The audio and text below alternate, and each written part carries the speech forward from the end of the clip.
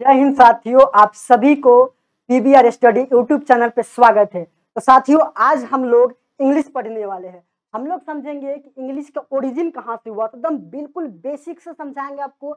बस आपको शुरू से लेकर के अंत तक देखना होगा। और फ़र्स्ट ऑफ़ ऑल आपको ये जो सेशन है, अपने दोस्तों के साथ इसको शेयर कर देना होगा। तो पहले हम लोग समझते हैं इंग्लिश होता क्या है। तो देखिए यहाँ पर, ठीक है साथियों? हम लोग लिखते हैं English. First of all English देखो इंग्लिश हमने बहुत बार सुना है कि साथियों इंग्लिश क्या होता है? लैंग्वेज होता है। ठीक है साथियों? इंग्लिश क्या एक लैंग्वेज है? अब मुझे बताना, हम लोग पढ़ते क्या है इंग्लिश में? ग्रामर तो मुझे बताना, जब इंग्लिश बना होगा शुरुआत पर में, जो सबसे स्टार्टिंग इसका हुआ होगा इंग्लिश का तो इंग्लिश एक्चुअल में शुरू में हुआ क्या होगा? इंग्लिश जब शुरू शुरू में बना होगा तो ग्रामर था या लैंग्वेज था? आप सोचना जरा, गौर से सोचोगे तो इंग्लिश शुरू शुरू में क्या हुआ होगा? किसी के द्वारा बोला गया होगा। कोई व्यक्ति होगा वहाँ पे तो शुरू में क्या किया होगा? बोला होगा। तो इंग्लिश किसी ना किसी द्वारा, व्यक्ति के द्वारा क्या किया होगा? बोला गया होगा। तो इंग्लिश जब बोला गया होगा तो वो कोई ना कोई एक भाषा का पार्ट है। इंग्लिश क्या हुआ? अपने आप में एक लैंग्वेज था।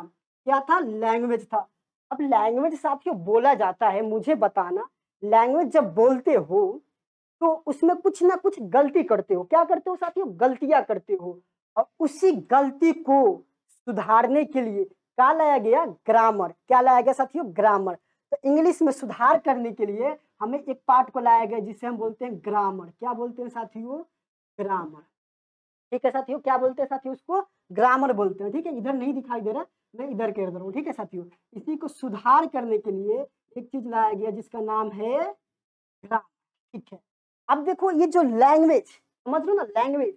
समझ लो साथियों लैंग्वेज ये जो लैंग्वेज होता है, ये लैंग्वेज जो इंग्लिश में बोलते हुए लैंग्वेज बनता कहाँ से मैं ये जानना चाहता हूँ साथियों जो लैंग्वेज है इंग्लिश का इंग्लिश एक लैंग्वेज है, ये लैंग्वेज बनता कैसे साथियों? मुझे ये जानना है।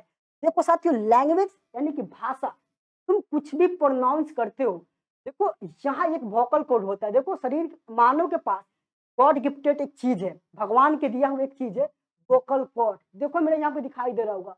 इस वोकल कॉर्ड से जो कुछ भी तुम निकालते हो, यानी यहाँ से कुछ भी निकलता है, यानी कि जन्म से लेकर के मृत्यु तक यहाँ से जो कुछ भी निकलेगा, वो तो कुछ ना कुछ साउंड होगा।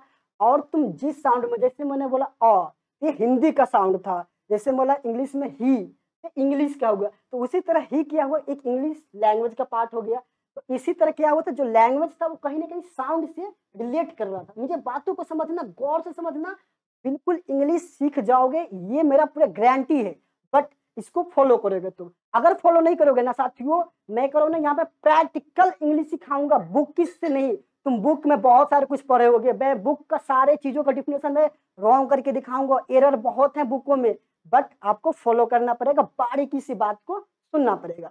मैंने कहा लैंग्वेज क्या है? साउंड से बना हुआ है। ठीक है साथियों। क्या है साथियों? साउंड से।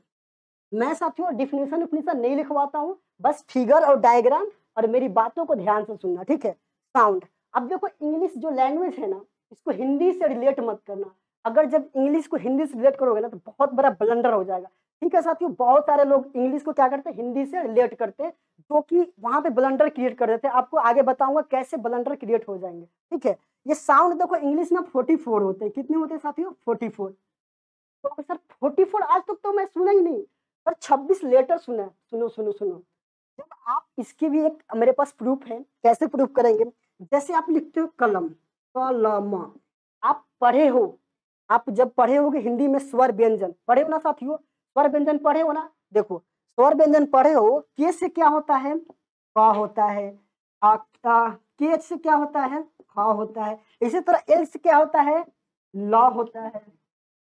देखो, के से क्या होता है? क होता है, एल से क्या होता है? ल होता है और एम से क्या होता है साथियों? म होता है। बातों को समझना, के से जब क होता है, एल से ल होता है, एम से म होता है तो मुझे बताना कलम के स्पेलिंग के, एल, एम क्यों नहीं होता है? सोचना जरा गौर से। आप साथियों, सोचना गौर से क्यों नहीं होता है? फ़र्क पता है ट्वेंटी, फोर्टी फोर साउंड का फ़र्क है। यही साउंड आपके इसीलिए हम लोग जब भी कलम का स्पेलिंग लिखते हैं कलम तो यहाँ पर के ए एल ए एम लिखते हैं। क्यों लिखते हैं? क्योंकि ये साउंड का डिफरेंट है। ये साउंड में आपको मिलेगा, ठीक है? इसलिए साउंड कितने होते हैं? फोर्टी फोर ठीक है हमने समझा पहले इंग्लिश क्या है? लैंग्वेज है। लैंग्वेज कहाँ से प्रोड्यूस होता है? कुछ भी बोलते हो वोकल कॉर्ड से यानी कि साउंड निकालते हो, वो साउंड आपके इंग्लिश फॉर्म में होगा, कि लैटिन फॉर्म में होगा, कि ग्रीक फॉर्म में होगा जैपनीज में होगा, ये मैटर नहीं करता। जैपनीज भी एक लैंग्वेज है लैटिन भी लैंग्वेज है वेस्टर्न लैंग्वेज बहुत सारे लैंग्वेज है। साउंड प्रोड्यूस करते हैं, वो लैंग्वेज है। लैंग्वेज में हम लोग क्या पढ़ रहे हैं? इंग्लिश और साउंड कितने होते हैं? फोर्टी फोर इतना समझ में आया ना? ठीक है। अब हम लोग समझते हैं, थोड़ा सा इसको और कोरिलेट करते हैं, ठीक है? और जुड़ने के प्रयास करेंगे ना तो बहुत मज़ा आएगा साथियों। मतलब क्लियर होना, इस सेशन को देखोगे ना आपको इंग्लिश जो है ना पूरा बेसिक से उठा पाओगे। बेसिक से इंग्लिश कहते हैं वो सीखोगे। अब देखो, यहाँ पर हम समझने का प्रयास करेंगे ये जो साउंड है ना साउंड कहाँ से निकलते होंगे? लेटर इंग्लिश में लेटर सुने होगा लेटर तो लेटर से ही ना कहीं ना कहीं ये साउंड निकलते होंगे, जैसे A B C D E यानी कि देखो तो ये जो क्या साउंड कहाँ से आते हैं? लेटर से। कहीं ना कहीं बोले तो लेटर्स लेटर नहीं बोलेंगे लेटर्स बोलेंगे। और लेटर की संख्या कितनी होती है इंग्लिश में? भाई, सबको पता है ट्वेंटी सिक्स होती है। कितनी? छब्बीस। ठीक है, साथियों। अब देखो छब्बीस को ग्रुप जो छब्बीस लेटरों के ग्रुप जो हो जाती है ना, उसी को हम लोग क्या बोल देते हैं साथियों? उसी को हम लोग क्या बोलते हैं? अल्फ़ाबेट बोलते हैं। अब देखो, मैं एक बात बता दूँ, बहुत सारे शिक्षक जन होते क्या है? अल्फ़ाबेट में एस लगा देते जैसे ही आप अल्फ़ाबेट में एस लगा दिए, इसका मतलब भी चेंज हो जाएगा। अल्फाबेट्स में जैसे ही एस लगाएँगे, इसका मतलब हो जाता है भाषा। एक एक चीज़ को वर्ड को ध्यान देना होगा। तब आप सीख पाओगे। अगर एक एक चीज़ को ध्यान नहीं दोगे तो बहुत बड़ी इंग्लिश समझ लो साथी इंग्लिश है। इसीलिए टफ हो जाता है इंग्लिश इंग्लिश बहुत आसान है, बस इसे कोरिलेट करने आना चाहिए। तो हम यहाँ पे अल्फाबेट्स को एस नहीं लगाएँगे, सिर्फ़ अल्फ़ाबेट होगा। और अल्फ़ाबेट मतलब होता है साथियों वर्णमाला 26 letter the group of 26 letter is called alphabet 26 लेटरों के समूह को क्या कहते हैं? अल्फ़ाबेट कहते हैं। साथियों डिफिनेशन खुद से मैं जो बोल रहा हूँ, सुन के लिख लेना। मैं लिखवाऊँगा तो फिर ज़्यादा टाइमिंग हो जाएगा ठीक है? अब समझना अल्फ़ाबेट को क्या बोलते ट्वेंटी सिक्स लेटर को क्या बोलते हैं? अल्फ़ाबेट अब देखो यहाँ पे समझना कि जो लेटर में होंगे ना लेटर में भवेल भी होते हैं कॉन्सोनेंट भी होते हैं और सेमी भवेल भी होते हैं। और बुक में दो ही देते हैं वॉवेल और कॉन्सोनेंट अब समझना सेमी भवेल के मैंने नाम लिया सेमी भवेल होते कौन कौन ये समझना देखो ये जो आ, आपके 19 हो जाते हैं 19 ये 19 क्या होते हैं? आपको कॉन्सोनेंट होते हैं। क्या होते हैं? कॉन्सोनेंट ये पाँच क्या होते हैं? वॉवेल होते हैं। ठीक है? पाँच क्या होते हैं? वॉवेल होते हैं और दो होते हैं सेमी वॉवेल कितने होते हैं? दो होते हैं सेमी वॉवेल और सेमी वॉवेल दो कौन कौन होते हैं? ये भी समझो। एक होता है आपका डेब्लू और एक होता है वाई अब देखो डेब्लू बना कैसे? सोचनी पड़ेगी ना साथियों? डेब्लू बना कैसे? ये तो जानना पड़ेगा ना। ऐसे कोई बोल देगा डेब्लू सेमी वॉवेल कैसे मान लोगे? मानने के लिए समझना पड़ेगा। ये जो डेब्लू बना है ना डबल यू से मिलकर बना है। डबल यू से मिलकर क्या बना है? डेब्लू ठीक है? अब वाई को समझो वाई कैसे बना है? वाई कैसे बना ठीक है? आई प्लस ई आई प्लस ई मिलकर क्या बनाया गया? है वाई अब समझ गए ना दो चीज़ों? डब्ल्यू और वाई भी क्या? सेमी भवेल में आता है। किसमें आता है कैटेगरी में? सेमी भवेल में। ठीक है? बारीकी से समझते आना फिर इसको हम बढ़िया से फिर एक बार समझा दूँगा। ठीक है? अब इस पाँच में कौन कौन आता है? इस वाले पाँच जो हमारे बताए बॉवेल ठीक है बॉवेल में कौन कौन आता है आपका साथियों? समझना है। तो इसमें आता है आपका ए, ई, आई, ओ और यू। और जो बाकी बच गए ना, वो उन्नीस में आ जाता है। ठीक है? देखो, उन्नीस दो इक्कीस पाँच छब्बीस, यानी कि ट्वेंटी सिक्स। देखो, ट्वेंटी सिक्स नहीं होता है इसका प्रोनाउंसिएशन करेगा, ट्वेंटी सिक्स होता है। ठीक है? बात समझना। जो बाकी रेस्ट बच गए रेस्ट यानी कि जो इसके अलावा, इन दोनों के अलावा, पाँच दो सात के बाद जो बच गए, वो सारे क्या हो जाएँगे? कॉन्सोनेंट हो जाएँगे। अब साथियों आते हैं। इन सभी को मिला करके साथियों दिख नहीं रहा होगा, मैं थोड़ा इसको ऊपर कर दूँ, आ जाइए। ये जो सेमी भवेल देखो, ये जो सेमी भवेल पढ़े हम लोग भवेल पढ़े कॉन्सोनेंट इन सभी को मिला करके कुछ ना कुछ तो बनता होगा ना। जैसे मैंने एक वर्ड लिख रहा हूँ डी ओ जी देखो, ये भी क्या है, एक लेटर का हिस्सा है। ये भी क्या है, एक लेटर का हिस्सा, ये भी क्या एक लेटर का हिस्सा यानी कहीं ना कहीं हमें ये समझ में आ रहा है कि लेटरों को जोड़ जोड़ करके एक वर्ड का तैयार हो रहा है। ये क्या है एक वर्ड है? और वर्ड के क्या है? अपना कुछ सेंस है। उसका कुछ मतलब है। तो कहना मतलब कहने का मतलब मेरा ये हो रहा है। कहीं ना कहीं लेटर को हम लोग जोड़ देंगे एक वर्ड बन जाएगा। इसका एक डिफिनेशन दिख रहा है ना the meaningful arrangement of letter is called word मतलब अक्षरों का एक बढ़िया सा मिलापन क्या कहलाता है? वर्ड कहलाता है। मतलब उसका मतलब भी निकले और स्ट्रक्चर भी सही हो बढ़िया तरीका से लिखा जाए, वो वर्ड कहलाता है। ये साथियों, हम लोग कह सकते हैं the meaningful arrangement of letter is called word लिख लो फटाफट नोट डाउन करो। The meaningful arrangement of letter is called word तो ये जो इन सब मिलकर क्या बनाते हैं साथियों? हम बोले तो एक तरह से बोल दे तो ये क्या बनाते हैं? लेटर मिलकर के क्या बनाते हैं? वर्ड का निर्माण करते हैं। अब देखो। अब वर्ड तो ऐसे किसी को भी नहीं बोल सकते। हैं अब लेटरों का समूह बोला हूँ तो मुझे बताना। ओ ई पी एन इसको वर्ड बोल सकते हैं क्या? तो वर्ड बोल सकते हैं क्या? नहीं बोल सकते। क्यों नहीं बोल सकते? क्योंकि ई पी एन ये तो लेटरों का समूह है बट इसका कोई मतलब नहीं है, सार्थक मतलब ही नहीं निकल रहा है। इसकी हम अगर बढ़िया तरीके से लिख दे ई एन अगर मैं इसको पेन लिख रहा हूँ, ये तो एक ग्रुप ऑफ़ लेटर है, साथ ही साथ इसका मतलब निकल रहा है। क्या मतलब निकल रहा है? कलम। तो ये क्या कहलाएगा? आपका वर्ड कहलाएगा। बात समझ गए? वर्ड कैसे पहचानेंगे? वर्ड कैसे बनता है? ये बात समझ गए। ठीक है। अब देखिए वर्ड को हम थोड़ा सा और ब्रेक करने की कोशिश करें वर्ड से हम लेने की कोशिश करें, एक चीज़ आता है हमारे पास वर्डों को मिला मिला करके सेंटेंस बन जाता है। तो जैसे देखो ही एक वर्ड है इज़ एक वर्ड है, ये एक वर्ड है बॉय एक वर्ड है ही इज़ बॉय ठीक है? अब देखो, बहुत सारे बच्चे के दिमाग में आएँगे, सर, क्या एक वर्ड एक लेटर का वर्ड बन सकता है? बिल्कुल बन सकता है, जैसे ए ठीक है? तो एक आई आई भी क्या, एक वर्ड है, एक एक लेटर है और अपने आप में वर्ड भी है तो एक लेटर का भी वर्ड बन सकता है, ठीक है? ये भी आपका कंसेप्ट क्लियर हो गया होगा। अब आते हैं साथियों, हम लोग बात कर रहे थे सॉरी वर्ड के बाद बात कर रहे थे सेंटेंस वर्ड से क्या बनता है साथियों? आपका निर्माण होता है सेंटेंस का। अब हमारा जो असली कहानी स्टार्ट होगा सेंटेंस से होगा। कहाँ से होगा साथियों? सेंटेंस से। ये तो आपका बेसिक जड़ था। अब एक चीज़ और समझो। यहाँ पर आपको समझाना पड़ेगा कि सर ये smallest unit of English grammar का जो सबसे छोटी इकाई, क्या होता है? लेटर होता है। कैसे होता है? इसकी थोड़ी सी हमें ट्वेल्थ के जो बच्चे होंगे, ट्वेल्थ लेवल के, जो हमारे सीनियर देख रहे होंगे, ऐसे तो बेसिक सबके लिए है।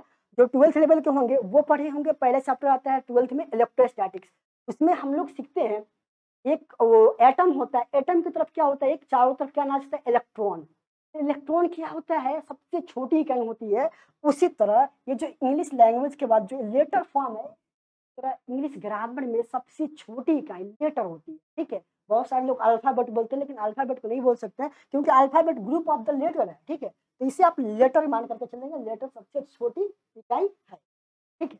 चलिए, अब हम लोग बात करेंगे सेंटेंस के पास आएँगे, और सेंटेंस के बढ़िया तरीके से समझने की प्रयास करेंगे। आइए तो फटाफट इसे रब कर लेते हैं, और वेट कीजिए, कुछ मिनटों तक। बस, आ गए हम लोग। हम बात कर रहे हैं कि सेंटेंस को हम लोग समझेंगे। देखो, जैसे ही मैंने लिखा सेंटेंस क्या लिखा? सेंटेंस सेंटेंस में क्या होता है? वर्ड वर्ड वर्ड कुछ ना कुछ तो वर्ड आते होंगे। कुछ ना कुछ तो वर्ड आते होंगे साथियों, ठीक है? जैसे मैं सेंटेंस का, आपका क्या होता है? इसका मैं एक स्ट्रक्चर लिखने का प्रयास करूँ। आपके सामने देखना स्क्रीन पे। इसका स्ट्रक्चर ऐसे होता है। सब्जेक्ट होता है, फिर वर्ब होता है, फिर क्या होता है साथियों? ऑब्जेक्ट होता है। कॉम्प्लीमेंट होता है। मुझे बताना, सब्जेक्ट होता है, यही होता है ना? वर्ब होता है और ऑब्जेक्ट या कॉम्प्लीमेंट होता है। अब देखो कॉम्प्लीमेंट में एल आई मत लगा देना। उसका मतलब कुछ और हो जाता है, ठीक है? बस कॉम्प्लीमेंट में Q M P L E M N T होना चाहिए, जिसका मतलब होता है पूरक। मैथ में पढ़े हो गए पूरक कौन होता है, ठीक है? वो सब अलग बात है बट हम इंग्लिश की बात कर रहे हैं, ठीक है? तो यहाँ पर सब्जेक्ट वर्ब ऑब्जेक्ट बात समझना। सब्जेक्ट क्या होता है? सब्जेक्ट कौन कौन से हो सकते हैं? ये सारी चीज़ें हम डिस्कस करेंगे, ठीक है? वर्ब क्या होता है? एक एक्शन वर्ड है। फिर इसके बारे में भी हम चर्चा करेंगे, क्योंकि इसकी एक बहुत लार्ज लार्ज क्लासेस होंगे, लगभग छः सात क्लासेस में दो तीन क्लासेस तो मैक्सिमम लग ही जाएँगे साथियों ये सब्जेक्ट बताने में। सब्जेक्ट यूट्यूब पे कह रहे ना, पूरी डिटेल्स में कोई नहीं बताया कि सब्जेक्ट पूरी डिटेल्स में कैसे एग्ज़ाम्पल के साथ पेपर लेकर के साथ कोई नहीं बताया जो कि मैं बताऊँगा, ठीक है? अगर आपकी अच्छी खासी रिस्पॉन्स रही तो ठीक है? भारत में भारत में लगभग दस, भारत में आपके क्या क्या आ जाते हैं? देखो साथियों में टेंस आ जाते हैं साथियों, भारत में। भारत में ही आपको वॉइस आ जाता है, ठीक है? क्योंकि टेंस में क्या है, हम लोग भारत के ही तो खेल करते हैं V one V two V three का खेल ही करते हैं। भाव का ही तो पार्ट है। वॉइस में भाव का ही पार्ट है नरेशन में भी नरेशन भी इसी के कैटेगरी में आता है बट थोड़ा उसमें कुछ नाइन्टी परसेंट कह सकते हो, ठीक है? बट ये बात है रखना ऑब्जेक्ट और कंप्लीमेंट की पाँच छः क्लासेस लग जाएँगे इसको बढ़िया से समझाने में। तो ये बातें हमको समझना पड़ेगा कि सेंटेंस का स्ट्रक्चर सब्जेक्ट होता है वर्ब होता है ऑब्जेक्ट होता है, ठीक है? आइए, हम इसमें कुछ और बताना चाहते हैं आपको कोरिलेट करके सब्जेक्ट में, ठीक है? समझने के प्रयास आसान। देखो सेंटेंस जो होता है सेंटेंस को थोड़ा और इलेबोरेट करोगे, क्या करोगे? इलेबोरेट करेगा, यानी कि इसको फैला, बड़ा करने की कोशिश करोगे। तो सेंटेंस सेंटेंस मिलाकर के, यानी कि एक सेंटेंस दो सेंटेंस तीन सेंटेंस चार सेंटेंस मिलाकर के हम क्या बनाते हैं बुक में? एक पैराग्राफ बनता है तो यानी कि कह सकते हैं सेंटेंसों को समूह को इसका अच्छा खासा मीनिंग हो उसे क्या बोल सकते हैं साथियों? पैराग्राफ बोल सकते हैं। यानी मेरा कहने का मतलब है कि सेंटेंसों को सब क्या बोल सकते हैं? पैराग्राफ बोल सकते हैं। क्या बोल सकते हैं? पैराग्राफ ठीक है? पैराग्राफ बोल सकते हैं। अब आ जाओ। अब मैंने समझ गया पैराग्राफ पैराग्राफ को अगर मिला दे हम पैराग्राफ को अगर मिला दे, बहुत सारा पैराग्राफ मिला दे तो क्या बन जाता है साथियों? देखे ना, बुक में एक पोयम बन जाती है, नहीं तो एक स्टोरी बन जाती है। अरे, मेरे कहने का सब देखो, सबको रिलेट करते चलना, अगर इंग्लिश में रिलेट करना सीख गए ना तो बहुत आसान है। जब मैंने सेंटेंस को सबको कंबाइंड किया, पैराग्राफ बना मैं पैराग्राफ को क्या करूँ? कंबाइन करूँ? एक पैराग्राफ, दो पैराग्राफ, तीन पैराग्राफ, चार पैराग्राफ, ऐसे ऐसे क्या करूँ मैं सबको कंबाइंड करूँ? क्या बन जाता है? स्टोरी या पोयम बन जाता है। एकदम बात सही बोले। ठीक है, स्टोरी या पोयम बन जाती है। अब मैं स्टोरी या पोयम को कलेक्ट कर लूँ। क्या कर लूँ साथियों? स्टोरी या पोयम को कलेक्ट कर लूँ और उसे एक निर्माण कर दूँ। क्या हो जाता है? वो हो जाता है इपिक क्या हो जाता है साथियों? वो हो जाता है इपिक इन सारे को कलेक्ट कर लूँ तो इपिक तैयार हो जाता है, यानी ग्रंथ तैयार हो जाता है। तो आप देखे होंगे बहुत सारा महाभारत, रामायण सारे सब क्या ग्रंथ है? यानी कि देखो लेटर से बना है वर्ड का निर्माण किए। वर्ड से किसका निर्माण किया? सेंटेंस का। सेंटेंस से किसका किया? पैराग्राफ का। अब पैराग्राफ से स्टोरी पोयम और इसका एपिक का। अब बात आते हैं साथियों, ये तो हमारा था इंग्लिश का छोटा सा बेस क्या था साथियों? बेस था, ठीक है? अब आते हैं आगे। छोटा सा कुछ एग्ज़ाम्पल देता हूँ, जो कि आपके इंग्लिश की धारणाओं को, यानी कि सोच को बिल्कुल ब्रेक करके रख देगा। जो आप पढ़े हो ना नाउन नाउन पढ़े हो ना, बहुत सारे लोग कहते हैं कि noun is naming word noun is everything मुझे एवरीथिंग जब मैंने पढ़ा था ना, मैं सही बता रहा हूँ, मैं ट्वेल्थ में था एवरीथिंग जब मैंने वर्ड सुना नाउन इज़ एवरीथिंग नाउन सब कुछ हो सकता है तो मुझे बताना साथियों रन रन मतलब होता है दौड़ना। नाउन जब सब कुछ है तो रन भी तो नाउन हो सकता है ना? ये सारी चीज़ कंक्लूजन आपको दूर करूँगा, एकदम बिल्कुल बता रहा हूँ ना साथियों। आप सब कुछ हट के पढ़ोगे English grammar practical English grammar पढ़ोगे कहते ना? जो साथियों, एकदम कनेक्ट टू कनेक्ट करके पढ़ने वाला चीज़ पढ़ोगे, ठीक है? बस सब्र रखो, सब कुछ सिखाते चलो। अभी कुछ एग्ज़ाम्पल दे रहा हूँ, आपकी बस इस एग्ज़ाम्पल के साथ मैं आपका क्लास को यहाँ पे एंड करूँगा, बस कुछ एग्ज़ाम्पल समझना और समझने के प्रयास करना कि ये इंग्लिश जो मैं पढ़ा रहा हूँ, वो आपके लायक है या नहीं है? और जो मैं एग्ज़ाम्पल दे रहा हूँ, क्या आपने इसको कभी सोचा है, इस पर गौर किया है? अगर किया होगा तो मुझे कमेंट करके बताना, ठीक है साथी चलिए एग्ज़ाम्पल आपके सामने लग गए जैसे मैंने एक एग्ज़ाम्पल लिखा बहुत सारे बुक में, जैसे मेरा एक एग्ज़ाम्पल है आई एम ठीक है? अब मुझे बताना, जैसे मैंने लिखा I is the I is the ninth number in one alphabet अब बहुत सारे बच्चे के दिमाग में आएँगे, सर, मैंने तो आज तक सर साथियों आई के साथ इज़ लगते देखा ही नहीं है। बहुत सारे बच्चे को दिमाग में आएँगे आई के साथ, सर इज़ लग ही नहीं सकता। मैं कहता हूँ साथियों लग जाएगा। कैसे नहीं लगेगा? लगेगा। हंड्रेड परसेंट लग जाएगा। यही तो कहता हूँ साथियों, उसका कंटेक्ट समझो। एक्चुअली सेंटेंस बोलना क्या चाहते हैं? आप किसी भी वर्ड को देख करके डिसाइड नहीं कर सकते हो कि नाउन है कि प्रनाउन मुझे देख कर डिसाइड कर सकते हो कि मेरे अंदर क्या पोटेंशियल नहीं। नेबर जज कर सकते हो। किसी भी, यानी कि देखो ना, आप शुरुआत चैप्टर में लिखा होता है। According to function you can category यानी पार्ट्स ऑफ़ स्पीच मतलब पार्ट्स ऑफ़ स्पीच में जितने भी शब्द होते हैं ना, उनकी फ़ंक्शन के आधार पर बांटा जाता है, ना कि देख करके।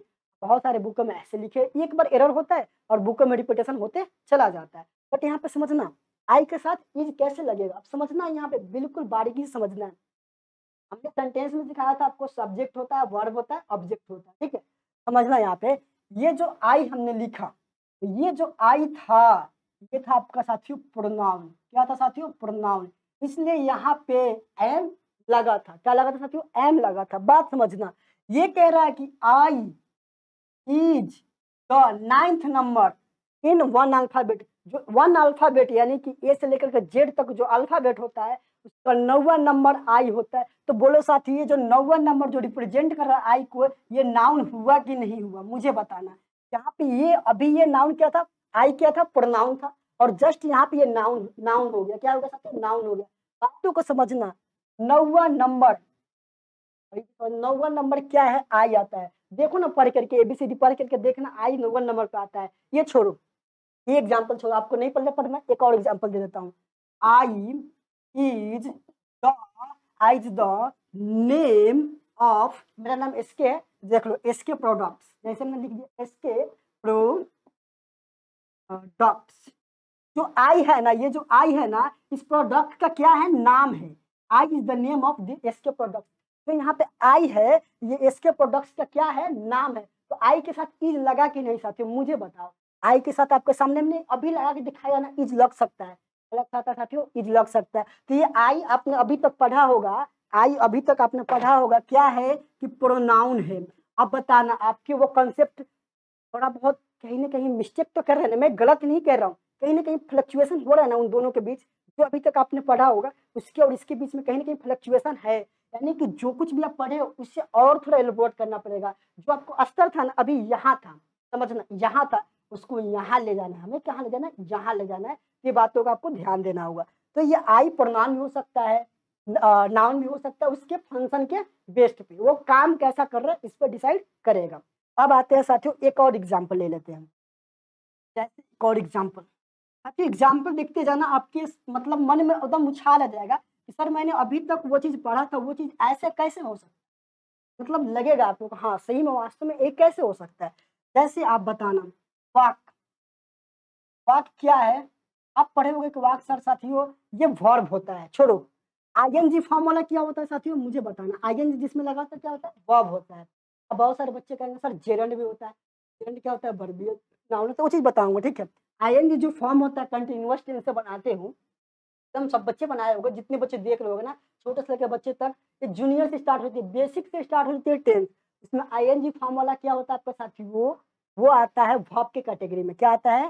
कैटेगरी भॉब में, ठीक है, आईएनजी वाला। अब मुझे बताना, यहाँ पे देखना walking walking is a good exercise अब मुझे बताना यहाँ पे एक्सरसाइज के अच्छे से लिख लेना, ठीक है? मैं बताने की कोशिश कर रहा हूँ। यहाँ पे जो वॉकिंग है, ये बताने एक्चुअल में भार्व है? मुझे बताना एक्चुअल में ये भार्व है, मुझे ये कमेंट करके बताना, ये भार्व है, मैं ये क्वेश्चन छोड़ के जाऊँगा आपके ऊपर। ये भार्व है तो कैसे भार्व है? और ये भार्व नहीं है तो फिर एक्चुअली है क्या? मुझे बताना, आप सबसे मैं पूछा बहुत सारे एग्ज़ाम्पल है मेरे माइंड में, बहुत सारा है। मतलब भर सकते बहुत टाइम लग जाएँगे बट अभी मुझे सिर्फ़ यही बताना है कि ये भार्व है तो कैसे है? कमेंट करना। ये भार्व नहीं है तो एक्चुअली है तो क्या है? मुझे बताओ ना साथियों। मैं जानना चाहता हूँ, मैं एक चीज़ आपको कंसेप्ट कर दूँ। जब भी, कभी भी दुनिया में याद रखना, सारे कंसेप्ट सारे किताब भूल जाओ। कभी भी सब्जेक्ट होंगे, वो सिर्फ़ और सिर्फ़ नाउन होगा। ये कंसेप्ट भी क्लियर करके जा रहा हूँ, ठीक है? मन नहीं था, कल के वीडियो में बताते लेकिन कंसेप्ट क्लियर कर दे रहा हूँ। कभी भी, जब भी होंगे तो वो नाउन ही होंगे सब्जेक्ट इसके अलावा कोई और नहीं हो सकता, कैसे प्रूफ कर देता हूँ? देखो, ये भी प्रूफ करने का मेरे पास नियम है। ये वाला क्वेश्चन मैं पूछूँगा। याद रखना, जो वॉकिंग इज़ गुड एक्सरसाइज बताया था एक क्वेश्चन का कल रिप्लाई मुझे चाहिए, ठीक है? बट ये कंसेप्ट समझ लो, छोटा सा कंसेप्ट है, समझना। इसे लॉजिकल समझ लेना। देखो सब्जेक्ट कैसे सिर्फ़ और सिर्फ़ नाउन हो सकते हैं। आपके दिमाग में आएँगे, एक चीज़ समझ लेना। सब्जेक्ट की क्लास भी अभी बता सब्जेक्ट समझो। होगा सर जी सब्जेक्ट नाउन होता है। नाउन होता है आपके अकॉर्डिंग सब्जेक्ट सर साथियों प्रोनाउन भी होता है, आपके अकॉर्डिंग प्रोनाउन भी होता है मान लिया साथी प्रोनाउन होता है। मैंने कहा, सिर्फ़ और सिर्फ़ नाउन होता है, मैं प्रूफ करूँगा कैसा होता है। फिर बहुत सारे बच्चे बहुत ज्ञानी होंगे, वो कहेंगे, सर इन्फिनिटी भी नाउन ही होता है, सर, उसे भर्बियल नाउन बोलते चलो, आपकी बात मान लिया। इन्फिनिटिव भी, क्या मान लिया साथियों? इन्फिनिटिव क्या मान लिया? इन्फिनिटी भी साथियों, आपके क्या होता है? सब्जेक्ट ही होता है, ठीक है।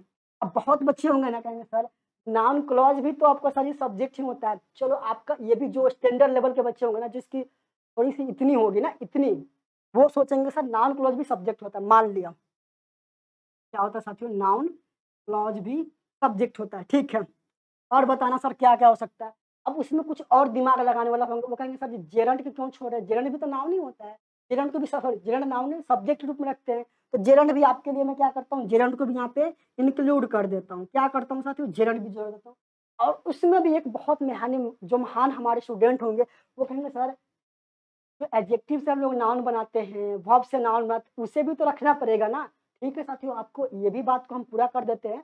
आपका ये वाला भी बात को हम रख देते हैं, यानी कि changeable form of the other parts of speech यानी कि हम लोग बोल सकते हैं changeable form of other parts of speech यानी कि जो पार्ट्स स्पीच का जो पार्ट है अदर दूसरा वाला जो चेंजेबल कर देंगे, यानी कि उसके में कुछ ना कुछ बदलाव करके उसको हम सब्जेक्ट रूप में रख लेंगे। अब देखो, मुझे समझाना, आपकी कंसेप्ट क्लियर करता हूँ।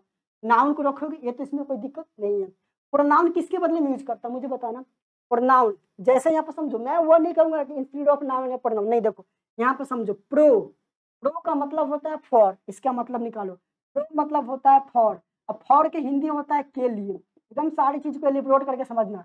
यानी कि नाउन यहाँ पर देखो नाउन नाउन के लिए जो वर्ड है, उसी को प्रोनाउन कहते हैं। तो कहीं ना कहीं ये तो नाउन का ही बतला रहा है ना? नाउन की बातें में ही तो बातें कर रहा है। एक तरह से क्या हुआ? ये भी क्या हुआ? नाउन ही हुआ। अब समझना। ये क्या होता है? इन्फिनेटिव इन्फिनेटिव को टू प्लस वी वन को बोलते हैं। जिसे हम लोग क्या बोलते हैं साथियों?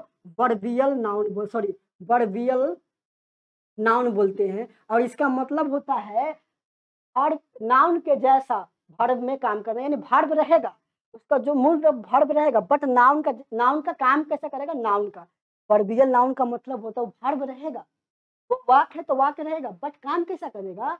As a act as a noun वो नाउन के जैसा काम करने लगेगा। उसी को हम लोग भर्बियल नाउन बोलते हैं। ये जो नाउन क्लॉज होता है, ये नाउन क्लोज मैं अगले क्लास में बता दूँगा, लेकिन एग्ज़ाम्पल के लिए सुन लो क्योंकि बहुत सारे कहेंगे, सर, इनको आता ही नहीं है, इसलिए अगले क्लास में बताने की बात करें।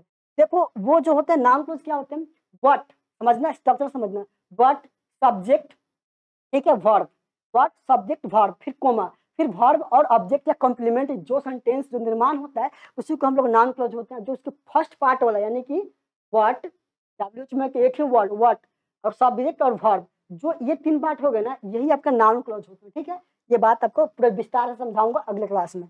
यहाँ पे जेरंड जेरंड में क्या होता है वर्ब का फ़र्स्ट फॉर्म प्लस आईएनजी लगा होता है, उसी को जेरंड बोलते हैं और इसी भी भर्बियल नाउन बोलते हैं, यानी कि वर्ब तो रहेगा बट एक्ट कैसा करेगा? नाउन के जैसा। अब देखो changeable form of other parts of speech इसे मैं समझाने के लिए यहाँ पे लेकर के आता हूँ आपको, ठीक है?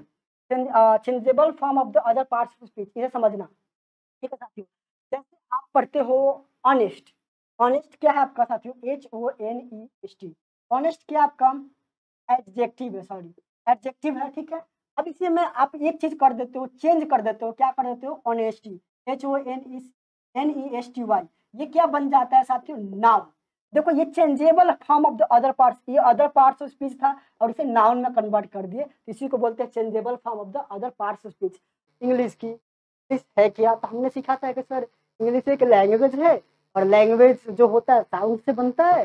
और साउंड क्या क्या चीज़ आते हैं? तो हमारा ए से लेकर के जेड तक जो लेटर होते हैं यानी कि जिसे अल्फ़ाबेट बोलते हो वहाँ से जो प्रोनाउंसिएशन करते हैं साउंड निकलता है। साउंड जो जो कुछ भी बोलते हैं तो इंग्लिश लैंग्वेज कहलाता है हिंदी में बोलते तो हिंदी लैंग्वेज कहलाता है या मराठी में बोलते तो मराठी कहलाता है। ये तमाम चीज़ें हम लोगों ने सीखा था पिछले क्लासेस में।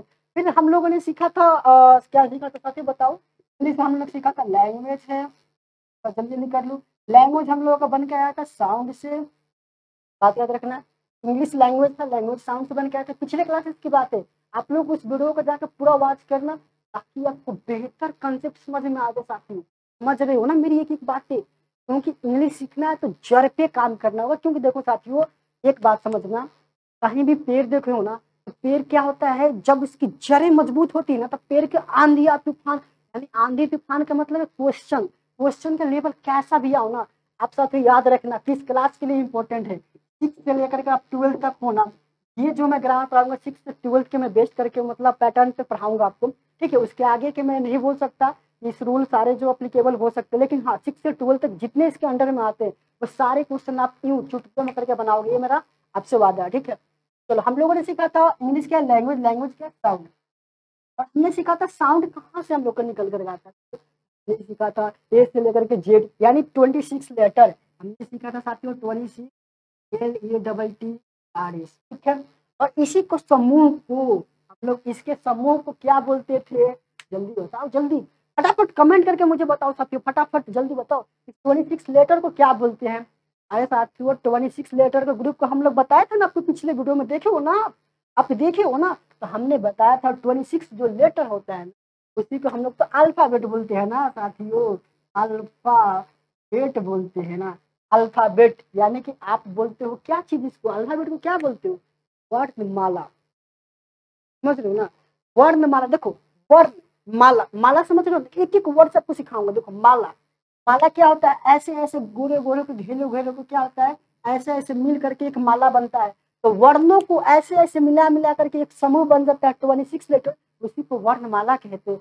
तो ऐसा से कंसेप्ट बताऊँगा ना, सीख जाओगे, सीखना मतलब सीखना तो आपको मन भी ना हो ना तब भी सीख जाओ, ठीक है? तो अल्फ़ाबेट हुआ। अब इस ट्वेंटी सिक्स लेटर में हम कुछ ऐसे काम करें। इनमें से ट्वेंटी सिक्स लेटर जो थे, ये देखिए, यहाँ पर ट्वेंटी सिक्स लेटर लिखा हुआ है। तो इनमें हमने पिछले क्लास में बताया था कि इनमें से कुछ भावेल, कुछ कॉन्सोनेंट मिला करके हम क्या बनाते थे साथियों? तो हम एक यहाँ से वर्ड का निर्माण करते हमने बताया था तो पिछले क्लास में। और वर्ड से फिर बना था सेंटेंस की कहानी आया था। और सेंटेंस से फिर हम लोग कहाँ ले गए थे? पैराग्राफ पे ले गए थे। पैराग्राफ से आपको स्टोरी के निर्माण में बताती था स्टोरी से फिर ईपिक पे चले गए ठीक है? ये पिछले क्लास की बात थी। पिछले क्लास में हम लोग सेंटेंस की भी बात किए थे, लेकिन एक बात याद रखो कंसेप्ट एक ही सीखो।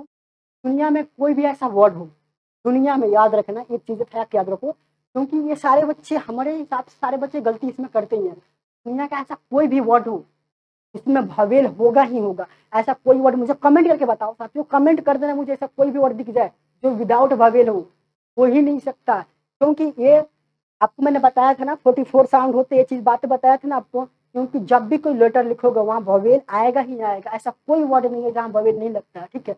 हमने एक चीज़, बहुत सारे बच्चे कन्फ्यूज़न में थे। सर, आप मुझे बता दो थोड़ा जल्दी से कि मैं कैसे पहचानूँगा? तो आप इस तरीके से ए बी सी जो मैं लिखा हूँ, इस तरह लिख लेना। और फटाक से ना देखो बवेल कौन होते देखो। ऐसे लाना तीर को और ऐसे कर देना और ऐसे करके ऐसे लगा देना। ये जो आपके है ना पार्ट ये साथियों देखो ए ई आई ओ यू लेटर की बात कर रहा हूँ मैं साउंड की बात नहीं कर रहा हूँ। लेटर की बात कर रहा हूँ तो ए ई आई ओ यू ये क्या होती है? आपके वावेल होते हैं। ठीक है? वावेल होते हैं। ठीक है? चलो। ये जो डब्ल्यू और वाई यहाँ पे एक डब्ल्यू दिखाई दे रहा होगा और एक वाई दिखाई दे रहा होगा। ये बोलते हैं सेमी बवेल क्या बोलते हैं साथियों? सेमी बवेल ठीक है? यानी कि देखो सेमी बवेल ठीक है। इसे क्या बोलते हैं साथियों? सेमी बवेल बोलते हैं। मैंने ये चीज़ें आपको नहीं बताया था एक्स्ट्रा ये चीज़ें मैंने सोचा कि इन्वेल्ट कर दूँ और रिविजन भी हो जाए। ठीक है? चलो। हमने आया था एक चीज़ों पर हम लोग डिस्कस करके आ गया था। आगे तक बढ़ चुके थे। साथियों सेंटेंस तक हम लोग पिछले क्लास में पहुँच चुके थे। क्या चीज़ पे? सेंटेंस पे। तो हम वहाँ से अपनी क्लास को क्या करेंगे? फर्दर आगे बढ़ाने की कोशिश करेंगे। ठीक है? तो within a second wait कर लो। थोड़ा से रब कर लूँ। ठीक है? वेट कर लो। थोड़ा सा वेट करूँ। मैं थोड़ा इसको रब कर लूँ तो तनका बढ़िया से बता सकता हूँ। ये चीज़ें नोट किए थे ना तो पीछे करके नोट कर लेता ठीक है? नोट कर लिए होगे मुझे आशा है। आ जाओ।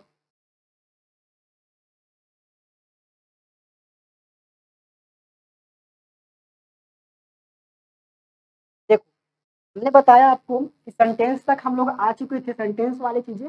हम लोगों ने पिछले क्लास में डिस्कस कर चुका, ठीक है? अब हम लोग समझते हैं कि सेंटेंस ठीक है? सेंटेंस समझो।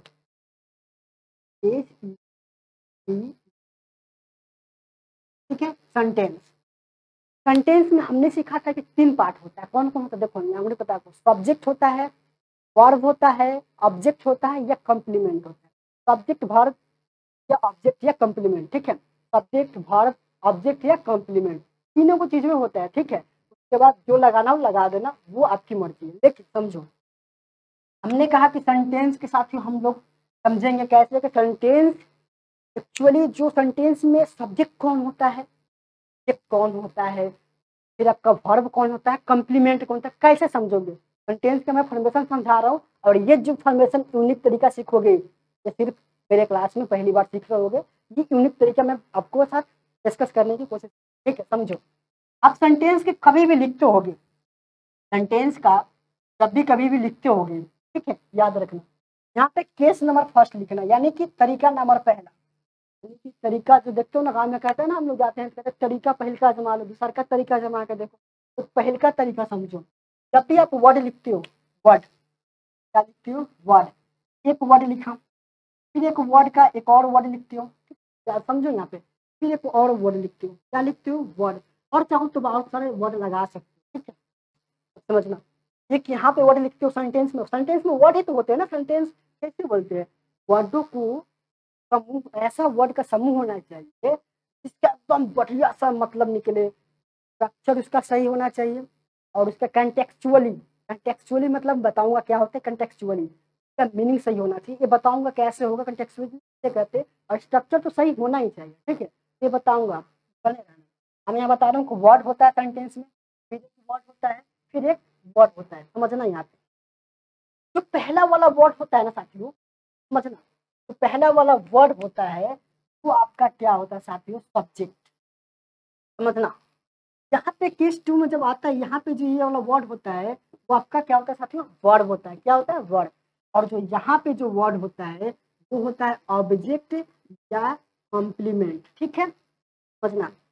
ऑब्जेक्ट या कॉम्प्लीमेंट अब हम लोग केस टू अराइज कर रहे हैं केस टू छोटा छोटा लिखने का प्रयास करूँगा। ठीक है, ताकि इसमें अट जाए, इतने ही में। अब देखो, जब हमारा एक सेकंड केस अराइज होता है, इसको मैं यहाँ लिख दूँ तो बेटर होगा। एक सेकंड लिख दो ना यहाँ पे मैं लिख दूँ तो बेटर लिख पाएँगे। थोड़ा कर लूँ। देखो सेकंड केस मैंने फिर राइज किया तो एक वर्ड होगा यहाँ पे कुछ ना कुछ। क्या होगा साथियों? यहाँ पे कुछ ना कुछ वर्ड होगा। क्या होगा साथियों? वर्ड होगा। यहाँ भी कुछ ना कुछ साथियों वर्ड होगा। और तीसरा वाला में कुछ होगा ये दो वर्ड का सेंटेंस मान लो होगा। जैसे एक बहुत सारा वर्ड का सेंटेंस था, एक ऐसा भी पार्ट आया जिसमें दो ही वर्ड हो। क्या हो साथियों? दो ही वर्ड हो। दो वर्ड का सेंटेंस हो। एक मैंने केस थ्री राइज किया। केस थ्री केस थ्री में क्या हुआ कि यहाँ ना वर्ड था, यहाँ भी नहीं था, ना यहाँ था, सिर्फ़ यहाँ वर्ड था। देखो ये जो बीच वाला वर्ड था ना साथियों इससे हम क्या चीज़ मान के लेके चलते हैं साथियों? वर्ड मान के लेके चलते हैं। क्या चीज़? वर्ड तो यहाँ भी क्या था? वर्ड यहाँ क्या था? यहाँ भी क्या आ जाएगा? ये फॉर्मेशन समझने के तो आपको बढ़िया तरीके से मेरे बातों को सुनना पड़ेगा। तभी समझ पाओगे, नहीं तो ये आपको लगेगा, क्या ऐसे ऐसे पढ़ा रहे कुछ यार, कुछ बताया नहीं लॉजिक कुछ नहीं समझा रहा है। सिर्फ़ क्या लिखवा रहे बट समझना पड़ेगा। देखो, जब भी आप सेंटेंस लिखते हो ना क्या होता है? वर्ड ही तो होता है ना। एक वर्ड होता है, दो वर्ड तीन वर्ड चार, पाँच। मन उतना लगा दो? तो वर्ड ही तो होते हैं। तो पहला जो वर्ड होता है ना, साथी आपका सब्जेक्ट होता है, जो आप बनाते हो। फिर दूसरा जो होता है, वो भर्व होता है। भर्व में आपका एक्सिलिंग भर भी हो सकता है मेन भर भी हो सकता है लिंकिंग भर positive transitive intransitive transitive intransitive बताऊँगा क्या होता है। इसी वीडियो में मतलब इसके अगले फादर वाला वीडियो में बताऊँगा, आगे वाला में। फिर ऑब्जेक्ट या कंप्लीमेंट होगा, फिर उसके आगे बहुत सारा कुछ होता है, ठीक है? वो सारे चीज़ समझेंगे। फिर या तो दो वर्ड के सेंटेंस भी देखे होगे ना, दो वर्ड का सेंटेंस आपने देखा होगा। उसमें जो पहला वर्ड हम लोग लेते हैं ना, उसको सब्जेक्ट मानते हैं, और जो दूसरा वर्ड उसे भर्व मानते हैं। तीसरा आपने देखा होगा, एक ही वर्ड का होता है, जैसे हम लोग बोलते हैं गो सीट डाउन डाउन बोलते हैं ना गो हेयर एक एक ही वर्ड में लग रहा है। जैसे बोलते हैं स्टैंड अप स्टैंड अप तो ये सब क्या एक वर्ड का सेंटेंस ये सेंटेंस का काम कर रहा है। बट मुझे बताना, यहाँ पे कुछ आपको कॉमन दिखाई दे रहा है? तीनों में? यहाँ पे कुछ कॉमन दिखाई दे रहा मुझे दिखाई दे रहा बट आपको नहीं दिखाई दे रहा, क्योंकि आप यहाँ पे बिगनर हो ठीक है? देखो, यहाँ पे भी सब्जेक्ट है, यहाँ पे भी सब्जेक्ट है, यहाँ पे कुछ नहीं, यहाँ पे सब्जेक्ट हमें दिखाई नहीं दे रहा, ठीक यहाँ पे एक ही जगह ऑब्जेक्ट था, यहाँ पे नहीं है, यहाँ भी नहीं है, यहाँ भी नहीं है, ठीक है? बात समझना तो हमें इस इस वाला case first case second case third ठीक है? Case first case second case third मुझे भर्ब सब जगह कॉमन दिखाई दे यहाँ भी भर्ब है यहाँ भी भर्ब है और यहाँ भी भर्ब है। तो तीनों जगह भर्ब यानी कि क्रिया। भर्ब का मतलब है क्रिया। हमें तीनों जगह दिखाई दे रहा है। यहाँ भी केस वन में भी, केस टू में भी, केस थ्री में भी भर्ब हमें दिखाई दे रहे हैं। क्या दिखाई दे रहे हैं? भर्ब यहाँ पर तीनों में मुझे भर्ब क्या है कॉमन दिखाई दे ठीक है साथियों कॉमन दिखाई दे रहे हैं। मुझे बताओ साथियों फटाफट तीनों में कॉमन दिखाई दे रहे तो मुझे कुछ अनुमान लगा पा रहे हो? कोई भी सेंटेंस में भर्ब बहुत ज़रूरी है। हम लोग बोल सकते ना, बोल सकते हैं ना, मन से अपने एक डिफिनेशन ला सकते हैं ना। We can't imagine we can't लिखो फटाफट। We can't imagine a sentence without verb बिना वर्ब के सेंटेंस की इमेजिन यानी कि सोच भी नहीं सकते कोई सेंटेंस हो सकता है। ठीक है ना? हम सोच भी नहीं सकते कि वो सेंटेंस हो सकता है साथियों, क्योंकि वर्ब के बिना सब्जेक्ट का निर्माण करना मुश्किल ही नहीं, नामुमकिन है। क्योंकि मैंने जब वर्ड बोला था स्टैंड अप स्टैंड अप क्या है? वर्ब है। क्या है साथियों? वर्ब है। ठीक है? मैं आप सबके कमेंट देख पा रहा हूँ, फटाफट कमेंट करते रहना जो चीज़ आपको नहीं समझ में आ रहा ठीक है? चलिए। यहाँ पे आपके, क्या हमने समझा कि वर्ब सब में ज़रूरी होना चाहिए? अब मुझे एक दिमाग में आ रहा है, आपको सोचना चाहिए। सर जी, मुझे बता दो, यहाँ सब्जेक्ट था। यहाँ सब्जेक्ट था, यहाँ सब्जेक्ट था। यहाँ सब्जेक्ट नहीं है क्यों? क्या बिना सब्जेक्ट के सेंटेंस बन सकता है? आपके दिमाग में क्वेश्चन आना चाहिए। ये फटाफट नोट करो, इसको डायग्राम बनाओ। और एक चीज़ बात याद रखना, अपने नोट्स बनाने की कोशिश करना। बाकी वीडियो में तो पीडीएफ दूँगा। आप पीबीआर स्टडी का जो ऑफिशियल टेलीग्राम है, उसे ज्वाइन कर लेना। वहाँ पीडीएफ मिलेंगे। सारा टाइपिंग की हुई पीडीएफ मिलेंगे, ठीक है? बट ये जो चीज़ मैं कंसेप्ट बता रहा हूँ ना कंसेप्ट ये चीज़ इनबिल्ड नहीं हो सकता ना पीडीएफ में। जो कंसेप्ट चीज़ वाले हैं, जो मैं बोल रहा हूँ, उन सबको नोट डाउन करते चलना, ठीक है? क्योंकि आपके काम आएँगे। जब मैं इसकी जब क्वेश्चन कराऊँगा, देखिए क्वेश्चन में किस किस बुक से कराऊँगा, वो भी लिख लो फटाफट। मैं बता देता हूँ बिहार से हो गए यूपी से हो गए, जो यूपी एमपी झारखंड या राजस्थान किसी बोर्ड से हो गए, वहाँ पे एक बुक चलती है। दिल्ली से भी हो, कोई फ़र्क नहीं पड़ता। वहाँ पे एक बुक चलती है ऑक्सफोर्ड का नाम सुने होगे। ऑक्सफोर्ड जो आर के सिन्हा के द्वारा लिखित एक बुक होती है, हर जगह मैक्सिमम देखा जाता तो चलता है। तो उनकी जो जूनियर वाला जो ग्रामर का बुक है, क्योंकि जूनियर में सारी चीज़ कवर हो जाते हैं, ठीक? जूनियर और साथ ही साथ करंट भी करवा दूँगा, ठीक है? क्योंकि जब आप अच्छे तरीके से पढ़ोगे तो करंट भी करवाऊँगा, लेकिन जूनियर में हंड्रेड परसेंट करवाऊँगा, ठीक है? क्योंकि जूनियर करवाऊँगा तब आपके बेस मज़बूत होंगे। तो ऑक्सफोर्ड जूनियर इंग्लिश ग्रामर होता है, वो करवा दूँगा। और उसकी मतलब वो करने के बाद ना आपके इंग्लिश में ऐसे करोगे, ऐसे बढ़िया तरीके से पढ़ोगे तब। ये करवाऊँगा आपको, ठीक है? ये बात याद रखना। हमने समझा कि अभी हमने बात की है कि सब्जेक्ट के बिना सेंटेंस बन सकता है या नहीं, ये चीज़ें मैं आपको बताने के प्रयास कर रहा हूँ, ठीक है? इसे थोड़ा मिटा लूँ, फिर आपको बताता हूँ। थोड़ा मिटा लूँ। वेट करना गाइस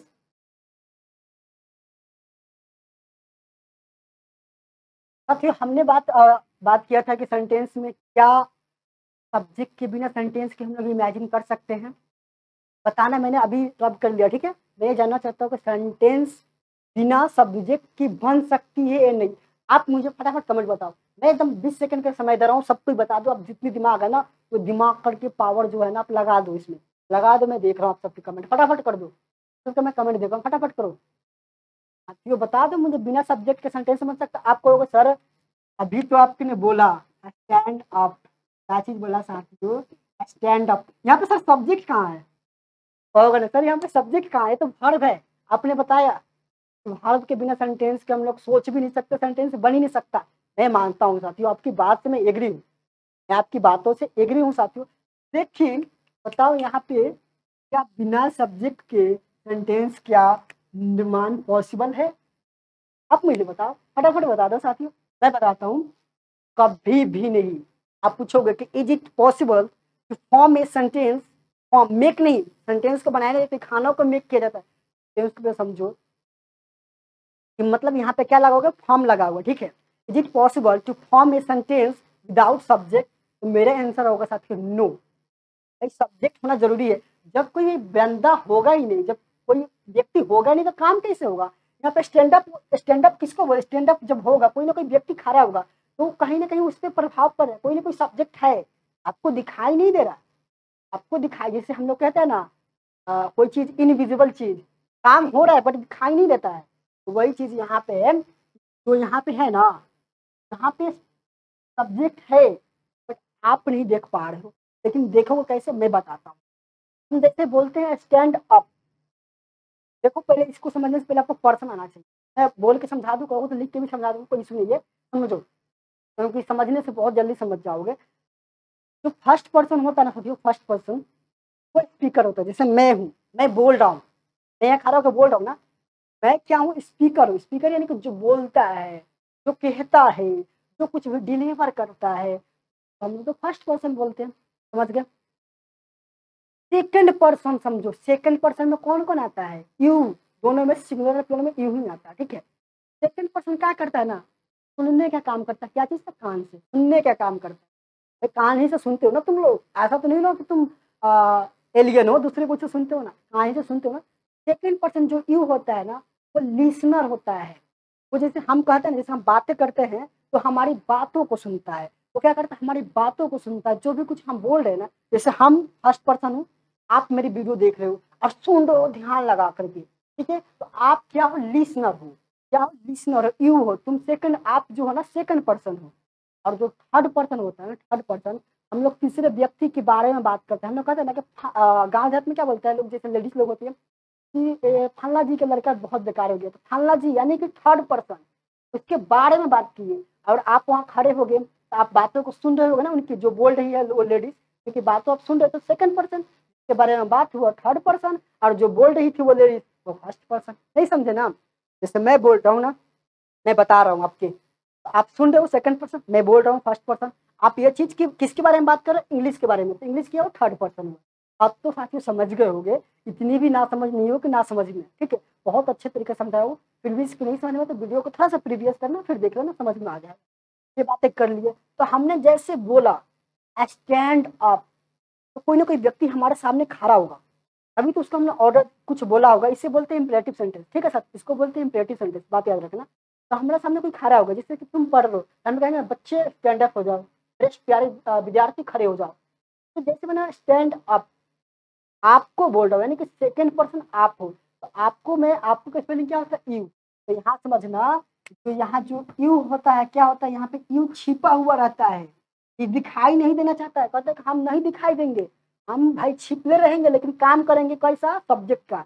पता नहीं चलेगा कि हम यहाँ सब्जेक्ट हैं। ये कहता है इंग्लिश में कि हम मालूम नहीं पढ़ने देंगे तो हम यहाँ हैं, लेकिन काम कर देंगे। कहते हैं ना, जैसे हम लोग विधायक जी होते हैं, कहते हैं ना कि हम फ़ोन कर देंगे तो काम हो जाएगा। वैसा ही काम ये कर रहा है। यहाँ पे है नहीं बट ये इनविजिबल वे से काम कर रहा है। इसको क्या बोलते हैं इलिप्सिस यार इलिप्सिस का मतलब होता है शब्दों का लोपन, यानी कि हिडन एलिमेंट तो यहाँ हिडन एलिमेंट कौन था? यू क्योंकि यू क्या होता है आपका? सेकेंड पर्सन हो। क्या होता है साथियों? सेकेंड पर्सन होता है। और सेकेंड पर्सन को अभी बताया, क्या होता है? लिसनर होता है। L I S T listener को क्या बोलते हैं? सेकंड पर्सन और बात याद रखना यहाँ पे, जो से जो इस इस वाले जो सेंटेंस को क्या बोलते हैं साथियों? इसे बोलते हैं साथियों इम्पेरेटिव सेंटेंस बोलते हैं। क्या बोलते हैं? इम्पेरेटिव सेंटेंस बोलते हैं। यानी कि जिसमें आज्ञा, आदेश कमांड ये सारी चीज़ें बात आ जाए, ठीक है? और इसकी स्ट्रक्चर क्या होता है? देखो इसका स्ट्रक्चर क्या होता है? सब्जेक्ट सॉरी सब्जेक्ट नहीं होता है। अब का फ़र्स्ट फॉर्म होता है और ऑब्जेक्ट होता है, ठीक है? या कॉम्प्लीमेंट हर्ब का फ़र्स्ट फॉर्म और ऑब्जेक्ट या कंप्लीमेंट जैसे बोला गो देयर जैसे देखो यहाँ पे देखो, जैसे गो देयर यहाँ पे देयर क्या है आपका? ऑब्जेक्ट की तरह काम कर रहा है। गो क्या है? वी का फ़र्स्ट फॉर्म है। ठीक है समझना अब एक चीज़ मुझे दिमाग में आ गया वी वन देखो साथियों, मैं अभी आपको समझाने के लिए बता रहा हूँ वी वन वी टू फ़ायदे में देखा जाए इंग्लिश ग्रामर के अनुसार बात माना जाए, एक कहानी इसके पीछे लॉजिक समझ लो। ह्यूमन नाम का कोई चीज़ होता ही नहीं है इंग्लिश ग्रामर में, याद रखना पहली बात। V one V two V three नाम का कोई चीज़ होता नहीं है, लेकिन छोटा बच्चा, देखो ये कहानी था, छोटे बच्चे थे, उन सब इंग्लिश समझाने के लिए एक बुक में लिख दिया गया कि V one V two V three होता है। तो सारे ग्रामीण ने इसको धीरे धीरे कॉपी पेस्ट कॉपी पेस्ट करते करते इसको लिखा गया, ताकि बच्चे को आसान हो। लेकिन आप मुझे बताना, गाँव में किसी व्यक्ति के पास तीन या चार लड़के होते हैं तो कहीं ये कहीं सुना है आपने? बेटा वन बोलता होगा, बेटा टू बोलता होगा, बेटा थ्री, कहीं बोलता है? आप जरा गौर से सोचने, दिमाग से, इंग्लिश प्रैक्टिकल तरीके से पढ़ो, एकदम उससे कनेक्ट करके पढ़ो, तब समझ में आएगा, क्योंकि इंग्लिश है, इंग्लिश बाबू लैंग्वेज है और लैंग्वेज अपनी नहीं है दूसरी की है। तो बात को कनेक्ट करके सीखोगे ना तो बहुत मज़ा भी आएगा और बढ़िया तरीके से सीख भी सीख भी पाओगे। हमने कहा कि गाँव में किसी की बेटा होता है, चार गो लड़का है उनका तो क्या वो बोलते होंगे कि, बेटा वन इधर आओ, बेटा तू वहाँ जाओ। नहीं बोलते होंगे। तो लड़का का कुछ ना कुछ नाम होगा, कुछ ना कुछ नाम होगा ना। मैं बताता हूँ कौन कौन सा नाम होता है, थोड़ा जल्दी से सुन लेना, ठीक है? और यही पे हम थोड़ा अभी समझाने के प्रयास करते समझना थोड़ा जल्दी से मैं बता दूँ। थोड़ा एक सेकेंड रुक जाना, एकदम यही पे लिख दूँगा जस्ट यही पे लिखूँगा और समझने के प्रयास करो, ठीक है? यही पे लिख रहा हूँ मैं, देखो, यही में आ जाएँगे। समझने का प्रयास करना, ये जो आप वी वन लिखते हो ना, ये जो वी टू लिखते हो, ये जो वी थ्री लिखते हो वी फोर लिखते हो वी फाइव लिखते हो, इन सब का V one V two V three V four five कुछ नहीं होता इन नाम का। ये सब, ऐसा कुछ नहीं होता है V one V two V three जो बोलते हो साथी ऐसा कुछ होता ही नहीं है। बट याद करने के लिए, आपको आसान बनाने के लिए साथियों, ये सब लाया गया। एक्चुअल नाम क्या हो तो मैं बताता हूँ, समझ लो। ये कॉन्सेप्ट समझ लो। जो वन होता है ना, इसको बोलते हैं प्रिजेंट क्या बोलते हैं साथियों? प्रीजेंट तो जो वी होता है, इसे बोलते हैं पास्ट क्योंकि इसे पास्ट टेंस में यूज़ करते हैं ना? और जो वी होता है, इसे पास्ट पार्टिसिपल बोला जाता है। क्या चीज़? पास्ट पार्टिसिपल ठीक है? वी थ्री वी थ्री को पास्ट पार्टिसिपल और जो वी फोर होता है ना वी फोर जो पर दिखाई दे रहा है ना, यहाँ पे, चलो यहाँ कर दे रहा हूँ। जो वी फोर होता है ना, इसे बोलते हैं प्रेजेंट पार्टिसिपल ठीक है? प्रेजेंट पार्टिसिपल ओके और जो वी फाइव होता है, जो ये वी फाइव दिखाई दे रहा है, ये वाला तो पता है क्या बोलते हैं? यहाँ पर आ जाओ। यहाँ पे समझिए इसको बोलते हैं मॉर्फोलॉजिकल मॉर्फोलॉजिकल मॉर्फोलॉजिकल बोलते हैं, जिसमें एस और एस लगा होता है, ठीक है? तो क्या बोलते हैं? मॉर्फोलॉजिकल बोलते हैं, जिसमें एस और यस लगा तो समझ गए ना? अब से क्या बोलोगे आप? अब का फॉर्म्स का क्या क्या नाम होता है, बता दो। तो प्रेजेंट होता है पास्ट होता है, ठीक है? फिर पास्ट पार्टिसिपल होता है प्रेजेंट पार्टिसिपल होता है और मॉर्फोलॉजिकल होता है, ठीक है? आई एन जी फॉर्म वालों प्रेजेंट पार्टिसिपल बोलते हैं। तो जो वी फोर लगाते हो आई एन जी वाला फॉर्म को तो प्रेजेंट पार्टिसिपल बोलते हैं। तो अब से आप गलती नहीं पढ़ना बस जानकारी के लिए रखो, लेकिन आप जाओगे ना अभी भी व्यक्ति के पास ये बोल दोगे ना प्रेजेंट पास्ट तो गलत कर देंगे आपको। पता है, आपको गलत साबित करेंगे। कहेंगे कि नहीं, ये चीज़ होता ही नहीं, मैंने पढ़ा ही नहीं। तो उनको मत कहो कि तुम गलत हो। लेकिन तुम जानकारी के लिए याद रख लो, क्योंकि जब आप ऊँचे लेवल में पढ़ोगे ना, जब ट्वेल्थ करने के बाद ग्रेजुएशन तो थोड़ा सा ऊपर जाओगे तो ये चीज़ें मिलेंगे पढ़ने की है बुक में है, लेकिन उस लेवल की बुक पढ़ोगे तब मिलेगा। मैम सेंटेंस के पास तीन केस राइज होते हैं। एक में होता है सब्जेक्ट वर्ब सब्जेक्ट या कम्प्लीमेंट दूसरा केस राइज होता है, जिसमें होता है subject verb subject verb subject verb ठीक है? सभी को कमेंट देख पा रहा हूँ, जल्दी जल्दी कमेंट करते रहो सभी को, ठीक है? फिर मैंने एक और केस का राइज किया था, जिसमें था सिर्फ़ और सिर्फ़ वर्ब ही था, और ना सब्जेक्ट था, ना ऑब्जेक्ट था। उसके बारे में बताया था कि क्यों सब्जेक्ट नहीं है, क्या फॉर्म होता है सारी चीज़ें मैंने आपको बता दिया था। तो उस वीडियो लेक्चर को जाकर के देख लेना। यहाँ पे हम बात करेंगे सेंटेंस की टाइप और आज बता रहा हूँ ना, अभी तक आपने इतनी गलतियाँ पढ़ी थी। तो आज आपके दिमाग से निकल। कह रहा हूँ ना। ये वीडियो, आप सेंटेंस को बताना, मैं सभी का कमेंट देखूँगा। आप सभी का कमेंट देखूँगा। आप सेंटेंस में इतनी धुआंधार गलती पढ़े हो ना टाइप्स के बारे में तो बता नहीं सकता। मैंने, खुद मैंने पढ़ा था, जब मैं दसवीं में था तब। मैंने जब अच्छे प्रोफेशनल ट्यूशन पकड़ा, तब मैंने समझा इसके बारे में, क्या एक्चुअल में होता है। लेकिन आप भी करते हो कि मुझे कमेंट करना, मैं देखूँगा सबका। सेंटेंस का टाइप बताना, आप सेंटेंस का टाइप बताना। सेंटेंस कितने प्रकार के होते हैं। आप लोग पता क्या क्या कमेंट कर रहे हो? सब आप लोग कहोगे सर असेटिव होता है निगेटिव होता है। अच्छा जी, यही होता है ना? असर्टिव बोलोगे निगेटिव बोलोगे। अच्छा मैं बताता हूँ, देखो, आप कमेंट करोगे, क्या कमेंट कर रहे हो? बहुत सारे बच्चे कमेंट कर रहे हैं असर्टिव होगा निगेटिव होगा। बुक में भी यही लिखा है साथ देख लेना। नहीं विश्वास है, आप ऑक्सफोर्ड का भी उठा लेना। जितने भी छोटे मोटे जो प्रकाशन पब्लिकेशन का बुक है ना, उनको उठा लेना। सारे में यही होंगे। नेगेटिव एसेटिव इंटरोगेटिव लेकिन मैं इसको प्रैक्टिकल करके दिखाऊँगा प्रूफ एक्चुअल में क्या है, क्या नहीं है प्रूफ करके दिखाऊँगा। इंग्लिश पढ़ो तो उससे कनेक्शन समझो। बिना कनेक्शन के इंग्लिश तो फिर रटा अगर रटवाने होता तो मैं कब के कितना सिलेबस खत्म कर दिया होता। रटवाना नहीं है, आपको सिखाना है। इंग्लिश सीखना है आपको, ठीक है? बातों समझना है पहले। आप कहोगे सर्टिव होता है नेगेटिव होता है इंट्रोगेटिव होता है, ठीक है? आप कहोगे सर पॉजिटिव भी होता है, बहुत सारे हमारे बच्चे होंगे यार चलो मैं मान लेता अब इसमें कुछ और तेज होंगे अफर्मेटिव भी होता है। चलो ये मान लिया। A double F I R M A I V कुछ बच्चे होंगे कहेंगे, सर ऑप्टेटिव को क्यों छोड़ दिया आपने? ऑप्टेटिव भी होता है। मैंने मान लिया आपको ऑप्टेटिव भी होता है। O P T A I V अब इसमें कुछ धुलंधर लड़के होंगे ना, वो कहेंगे, सर, एक्सलामेट्री कहाँ आई है? भाई, ये भी लिख लो ना। आ जाओ, तुम्हारा बात यही मान लो तो क्यों काटे आपका बात? आपको मयूस एक्सलामेटोरी। ठीक, आपका बात मैं काटूँगा नहीं। आपको उदास सोनी नहीं दूँगा। आप कहोगे, सर, एसेटिव होता है, निगेटिव होता है, इंट्रोगेटिव होता है पॉजिटिव होता है अफर्मेटिव होता है अपटेटिव होता है एक्सलामेटरी होता है और कुछ भी होता है ऐड कर लो क्या ये टाइप्स ऑफ़ सेंटेंस होते हैं। हम सेंटेंस की बातें कर लेते हैं सेंटेंस क्या होता है। लेकिन मुझे बताना सेंटेंस की टाइप ये होता है, पहले बताओ। मुझे कमेंट करो। आपसे कमेंट कमेंट का वेट कर रहा हूँ मैं, ठीक है? मुझे बताओ पहले ये टाइप्स ये होता है पहले। क्या ये असर्टिव होता है? क्या सेंटेंस का जो प्रकार असर्टिव होता है नेगेटिव होता है इंट्रोगेटिव होता है पॉजिटिव होता है अफर्मेटिव होता है ऑप्टेटिव होता है एक्सलेमेटरी और कुछ भी हो बुक में दिया, मुझे पता नहीं क्या क्या होते, वो सारे ऐड कर लो। और भी होते, यही सब होते हैं ना, आप बोलोगे यही सब होते हैं ना? आपको यही सब होता है ना? बताओ मुझे, मैं हट गया, फटाफट एक नोट कर लो। क्या ये टाइप्स ऑफ़ सेंटेंस है? मुझे बता दो। बताओ जल्दी से मुझे मुझे जानना है साथियों, आपकी कमेंट का मैं वेट करता हूँ। ये टाइप्स होते लेकिन, मेरी बात मानो, मैं कहूँ ना कि टाइप्स ऑफ़ सेंटेंस नहीं होता है मीन्स नहीं होता है। सर अब आप नए पे आए हो, मुझे बताने वाले। मैं इसको प्रूव करूँगा ना, साथियों। वेट करो वेट है ना? वेट एंड वॉच समझो। टाइप्स कौन कौन होते गलत क्यों है? मैं बताता हूँ। ये टाइप्स ऑफ़ सेंटेंस नहीं होते। ये सेंटेंस का पार्ट है। लेकिन टाइप्स ऑफ़ सेंटेंस नहीं होते। हम लोग थोड़ा सा थोड़ा सा मिस्टेक देखो, हम लोग इंग्लिश बहुत अच्छे आते हैं। हम सब इंग्लिश अच्छे बोल रहे सब सबको इंग्लिश अच्छे समझते हैं। लेकिन इस पर ज़रूरत ये है ना, जैसे ये पेन बन चुका है, लेकिन इस पर प्रिंटिंग ना हो।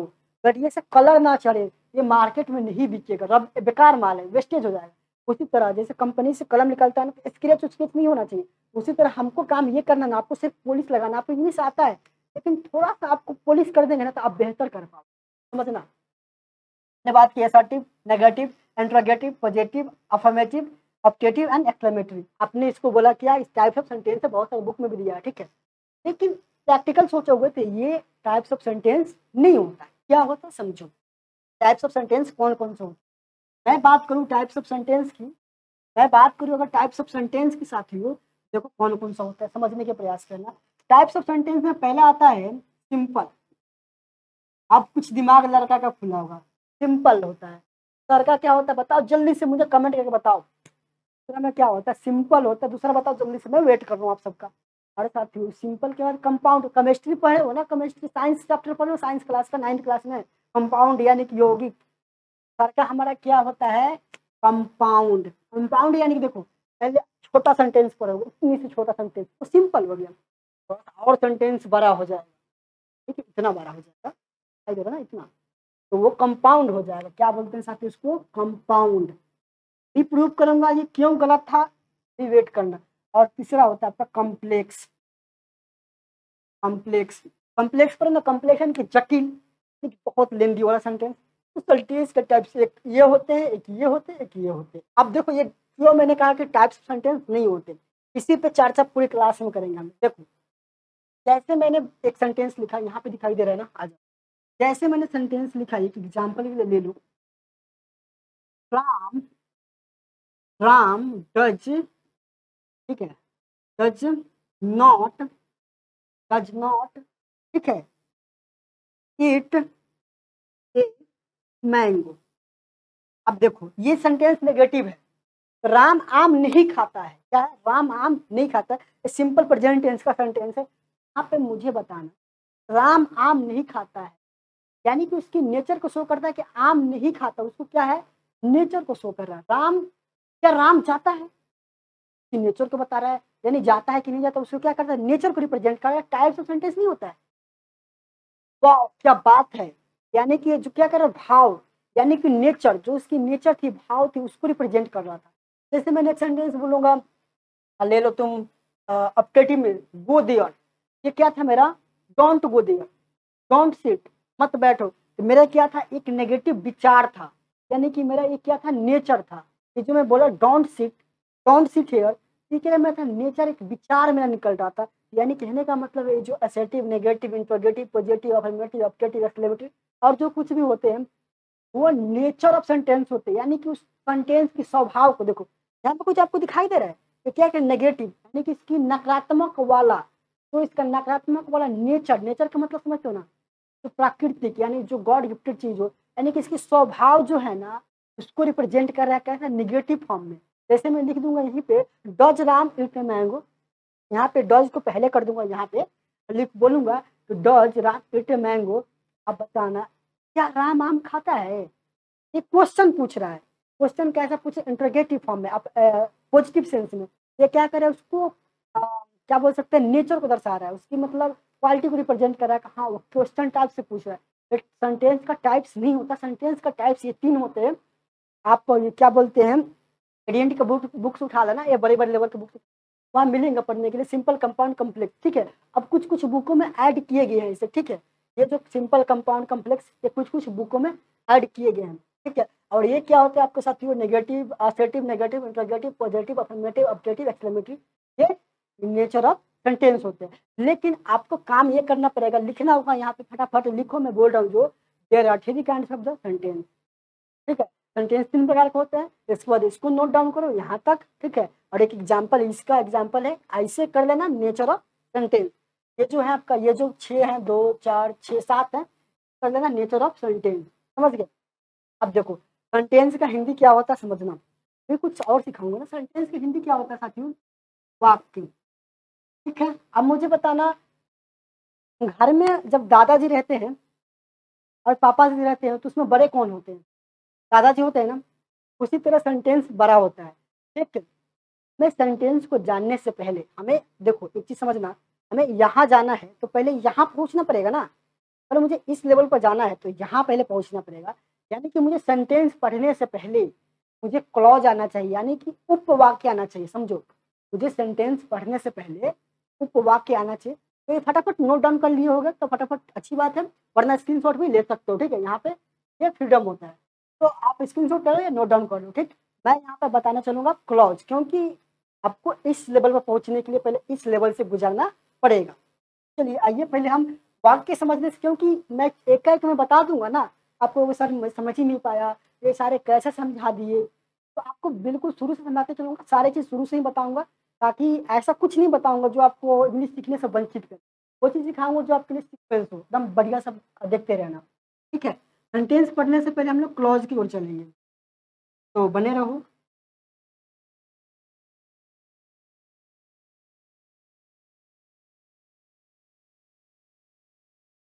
आ जाओ।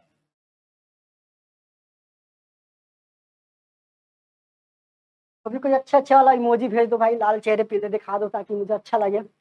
चलो, हम लोग कह बात किए कि सर सेंटेंस समझने से पहले हमें क्या समझना हो क्लॉज को समझना। सी एल ए क्लॉज बहुत बार सुने वो क्लॉज और एक क्लॉज ऐसा चैप्टर है ना, बहुत सारे बंदों को समझ में ही नहीं आता है। बढ़िया से समझोगे? बहुत आसान है। नहीं समझने का प्रयास करोगे ना, इतना जटिल है ना समझ नहीं सकते फिर कितना जटिल है? समझ लो ना? तो इसको बढ़िया से समझने का प्रयास करना, पहली बात। देखो क्लॉज का हिंदी होता है उपवाक। यहाँ पे हिंदी भी चाहो तो लिख सकते हो। उपवाक। का हिंदी अच्छी से नहीं लिख पाता हूँ, देख लेना, कहीं गलती उलती हो जाए तो। उपवाक, क्लॉज का मतलब उपवाक। उपवाक यानी कि बताना राष्ट्रपिता जो बड़ा होता है कि प्रधानमंत्री, राष्ट्रपिता बड़ा होता है, ठीक है? या प्रधानमंत्री सेंटेंस में जो मुख्यमंत्री होता है उनमें कंपेयर कर लो, प्रधानमंत्री बड़े होते हैं और मुख्यमंत्री छोटे होते हैं। उसी तरह सेंटेंस से छोटा, थोड़ा सा छोटा होता है क्लॉज। और क्लॉज किसे कहते हैं, मुझे बताओ, फटाफट मैं सबका कमेंट देख रहा हूँ। जल्दी जल्दी बता दो, सबको फटाफट। बता दो। क्लॉज किसे कहते हैं? जल्दी कमेंट सबकी देख रहा हूँ मैं? वहाँ पे कमेंट चल रही है यार। जल्दी जल्दी बता दो। देखो, क्लॉज किसे कहते हैं समझो। क्लॉज होता क्या है? क्लॉज मैंने बता दिया सेंटेंस थोड़ा सा छोटा होता है। एक हमारे पास सब्जेक्ट होता है, क्योंकि हमने बात करते हैं सेंटेंस में सब्जेक्ट होता है, रहता ही रहता है, और भर्ब भी रहता है। तो सब्जेक्ट और प्लस भर्ब के मिलान को देहाती भाषा में लिखा हूँ, बढ़िया तरीके से समझ जाओगे। सब्जेक्ट और भर्ब के मिलन को, यानी कि एक दूसरे के मिलन को ही क्लॉज कहते हैं, समझ लो। सब्जेक्ट और भर्ब जब तो मिल जाएगा ना, यानी सब्जेक्ट और भर्ब होगा, उसी को क्लॉज कहते हैं। एक सब्जेक्ट होना चाहिए, एक भर्ब होना चाहिए। तो क्लॉज कहते हैं। समझना? सब्जेक्ट और भर्व के मिलन, हिंदी में लिख दे रहा मिलन को क्लॉज कहते हैं, यानी कि क्लॉज कहते हैं। यहाँ पर क्लॉज सब्जेक्ट भर्व के मिलन को क्लॉज कहते हैं। समझ गए अब देखो, क्लॉज कितने प्रकार के होते हैं। अब मुझे कमेंट करके बताओ फटाफट। जल्दी जल्दी बताओ, उसमें से कोई कमेंट देख रहा हूँ यार क्लॉज कितने प्रकार के होते हैं, मुझे बताओ। आपकी कमेंट देख रहा हूँ। चलो, मैं बताता हूँ क्लॉज कितने प्रकार के देखो, क्लॉज एक्चुअली देखा जाए दो प्रकार के होते हैं। ठीक है? एक होता है मेन क्लॉज मेन क्लॉच एक होता है सबऑर्डिनेट क्लॉच सबऑर्डिनेटिंग भी बोलते हैं, इसे बहुत सारे बुक वाले। सबऑर्डिनेटिंग क्लॉच अब देखो, ये जो मेन क्लॉज होता है ना तो समझने के प्रयास करना है, जो मेन क्लॉज होता है, इसी को बहुत सारे लोग इंडिपेंडेंट क्लॉज ही बोलता है। क्या बोलता है साथियों? इंडिपेंडेंट क्लॉज ही बोलता है बहुत सारे लोग। और इसी को बहुत सारे लोग, पता क्या बोलता है? प्रिंसिपल क्लॉज ही बोलते हैं। और इसको डिपेंडेंट इसको सबको क्या बोलते हैं साथियों? डिपेंडेंट यानी कि जो दूसरे पे क्या हो? निर्भर। ये आज़ाद पंछी है। ये किसी पे निर्भर है। समझो मेन घर में जो मेन होता है, भाई, किसी से परमिशन लेता है कोई चीज़ करने के लिए? नहीं लेता है ना। समझना, घर में अगर तुम्हारे बड़े भैया हो तो वही जो चीज़ सब कुछ घर के मेन हो तो किसी से परमिशन लेते हैं, क्योंकि वो मेन है। तो खुद जो मेन होता है, वो खुद से ही परमिशन काम कर लेता है। किसी और से पूछने की उसको ज़रूरत ही नहीं होती है। ये मेन क्लॉज होता है ना, अपने अपना कंप्लीट मीनिंग होता है इसके पास, देखो। जो मेन क्लॉज होता है, इसके पास कंप्लीट मीनिंग होता है। Complete C M P L E complete meaning होता है। ठीक है? इसके पास कंप्लीट मीनिंग होता है। और ये होता है ना बेचारा, कि ना किसी ना किसी से पूछना पड़ता है। इसको किसी ना किसी से सहारा लेना पड़ता है। ये थोड़ा बेचारा है, समझ रहे हो ना? ये जो सबऑर्डिनेट क्लॉज है बेचारा है। तो ये क्या है? किसी ना किसी पर आश्रित रहता है। जैसे समझो एग्ज़ाम्पल से समझो। ये ये वाला पार्ट उतार लिए हो ना? ये वाला पार्ट इससे मैं थोड़ा रब कर दूँ। आ जाओ। ऐसे रब करूँ तो बढ़िया से बता पाऊँगा।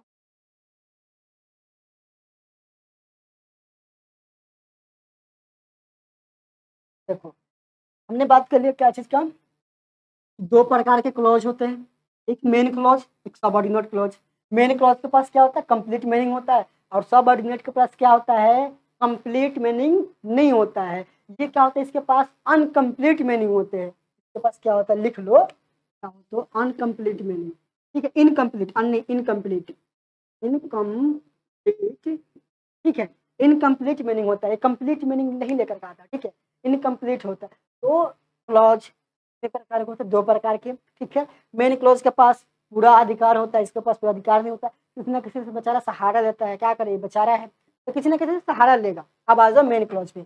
मेन क्लॉज के कुछ एग्ज़ाम्पल देख लो। जैसे Ram, goes. Goes to Patna. T A T N ठीक है? राम पटना जाता है। इसमें आपको कहीं कुछ ऐसा लग रहा है? जो चीज़ आपसे वंचित हो राम गोज टू पटना। यहाँ पे ऐसा तो कुछ नहीं लग रहा है जो चीज़ आपसे छूट रहा कुछ नहीं ऐसा लग रहा है मुझे तो नहीं लग रहा है भाई। यहाँ पे कहीं ऐसा मुझे लग ही नहीं रहा है कि किसी और चीज़ की यहाँ पर ज़रूरत हो। ठीक है जिसका कंप्लीट मीनिंग है भाई यहाँ पे इसका कंप्लीट मीनिंग है यहाँ पे समझो। पूरा कंप्लीट मीनिंग है। समझ लो ना इसका कंप्लीट मीनिंग है। राम गोज टू पटना राम पटना जाता है। अब यहीं पे एक और सेंटेंस लिखता हूँ एक और सेंटेंस लिखना। Huh, if you join my class, if you join my class. अब देखो, यहाँ पे मैंने लिखा if you join my class यदि आप मेरे क्लास ज्वाइन करते हो, लग रहा है ना, एकदम अंदर से उबाल आ रहा होगा कि क्या, इसके बाद क्या होगा? अगर मैं क्लास ज्वाइन करूँ क्या होगा? यहाँ पे एक कंप्लीट मीनिंग नहीं रिप्रेजेंट कर रहा है, लेकिन ये वाला पार्ट जो पार्ट मैंने लिखवाया था, ये कंप्लीट मीनिंग को रिप्रेजेंट कर रहा था, समझ रहे हो ना? ये कंप्लीट मीनिंग को रिवील कर रहा है। लेकिन यहाँ पे if you join my class यदि तुम मेरे क्लास ज्वाइन करते हो तो उसके बाद कुछ लग ना कुछ और जोड़ देती है, थोड़ा हो जाए। अगर यही में कह दो if you join my class then you learn if you join my class then then you learn English learn तब आप इंग्लिश सीख जाओगे। तब देन यू विल यहाँ पे लिख लेना यू विल ठीक है? Then you will learn English तब आप अंग्रेज़ी सीख जाओगे। अगर मेरे क्लास ज्वाइन करते हो तो अंग्रेज़ी सीख जाओगे। तो अब इसका कंप्लीट मीनिंग हो गया। यानी कहने का मतलब है, यहाँ पे क्या लगा हुआ था? इफ़ क्या लगा हुआ था इफ़ यानी किसी ना किसी चीज़ को यहाँ पे ज़रूरत पड़ रहा है इसको। किसी न किसी वर्ड को जो इसकी ज़रूरत पड़ रहा है, ठीक है? और ये अपने आप में कंप्लीट मीनिंग को रिप्रेजेंट नहीं करता है। कौन? सबऑर्डिनेट क्लोज कौन सा? सबऑर्डिनेट क्लोज और ये मेन क्लोज जो होता है, इसमें इसके पास क्या होता है? कंप्लीट मीनिंग होता है। समझ के साथियों? मेन क्लॉज के पास कंप्लीट मीनिंग होता है और जो आपका क्या बोलते हैं सबऑर्डिनेट के पास कंप्लीट मीनिंग नहीं होता। तो ये चीज़ हम लोगों ने यहाँ पर समझा। सेंटेंस कितने प्रकार के होते हैं साथियों? तीन प्रकार के। पहला सिंपल कंपाउंड कम्प्लेक्स कौन?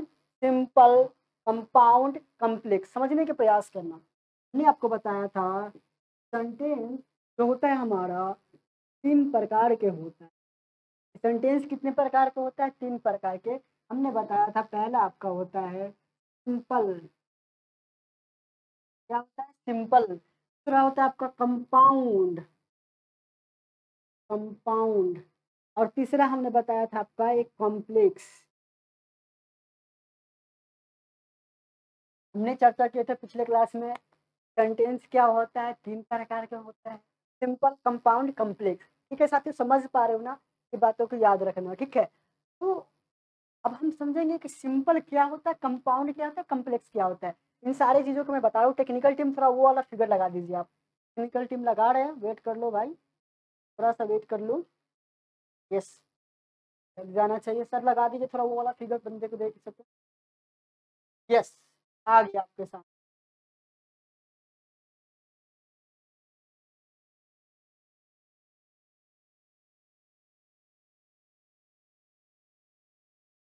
लगा दीजिए।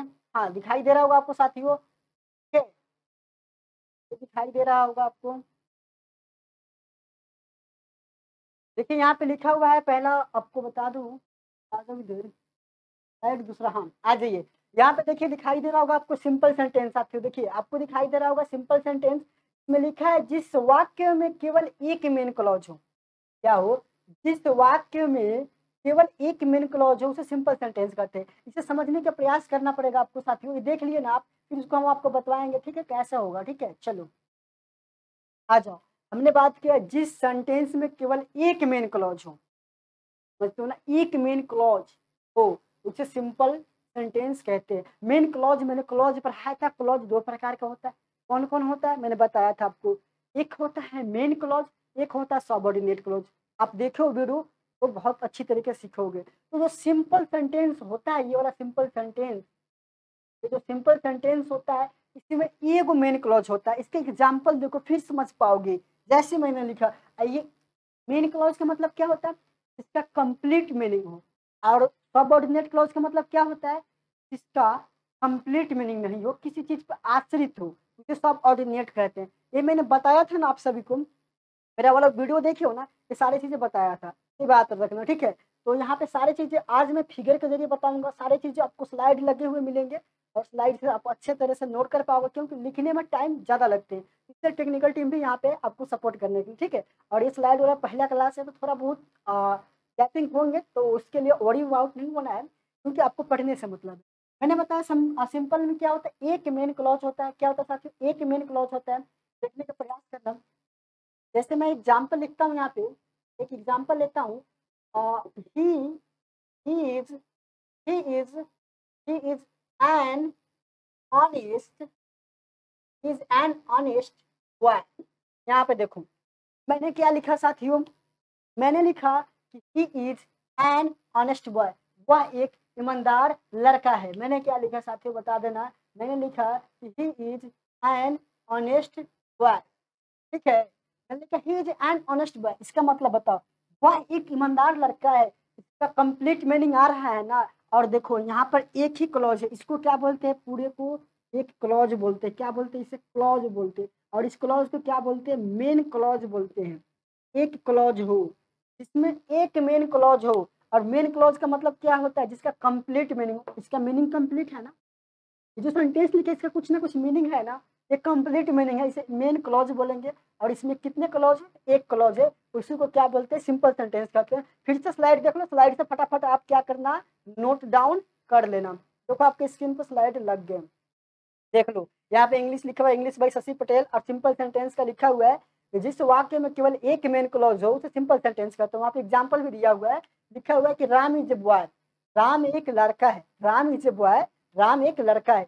फिर देखिए एक और टेक्निक लग गए होंगे स्क्रीन पे, इधर साइड में देखो, इधर इधर, यहाँ पे, बता दे आपको हाँ फिर एक और लगा कि आई एम टीचिंग यू मैं तुम्हें पढ़ाता हूँ आई एम टीचिंग यू ये दो एग्ज़ाम्पल थे, ठीक है, अब हम लोग इसको अब अब करवाते हैं, इसको हाइड आ जाइए हम अपना, आते हैं बात पे, अब बात करेंगे हम किसकी साथियों, ये कंपाउंड क्लॉज की बात कर लेंगे, किसकी बात कर लेंगे साथियों कंपाउंड क्लॉज की, ठीक है, क्योंकि हमने सिंपल को समझ लिया, क्योंकि सिंपल समझ लिया ना साथियों तो बहुत कुछ समझ लिया। सिंपल बहुत आसान होता है और ये कंपाउंड और समझना, कंपाउंड और कम्प्लेक्स को समझने के लिए। साथियों, कंपाउंड एंड कम्प्लेक्स को समझने के लिए आपको दो तीन चीज़ आना चाहिए। चाय पिए हो ना चाय जो बंदा चाय पिया होगा, वो कंपाउंड समझ जाएगा। और जो बच्चा शिकंजी पिया होगा, शिकंजी किस किस ने पिया अभी तक, बताओ मुझे। अरे भाई, दो रुपये गिलास देते हैं, वो सादा पानी और उसके साथ वो मिला देते हैं, वो दस रुपये लेते हैं शायद। दिल्ली में दिल्ली में था जब मैं तो वैसे लेते ठीक है। तो जो कंपाउंड सीखना होगा ना, आपको थोड़ा सा फेस करना पड़ेगा। कंपाउंड में कुछ ज़्यादा नहीं होता है। कंपाउंड में जो मेन क्लॉज होता है ना, वो दो बार आ जाता है। इसमें दो मेन क्लॉज आ जाते हैं। क्या आते हैं? दो मेन क्लॉज आ जाते हैं।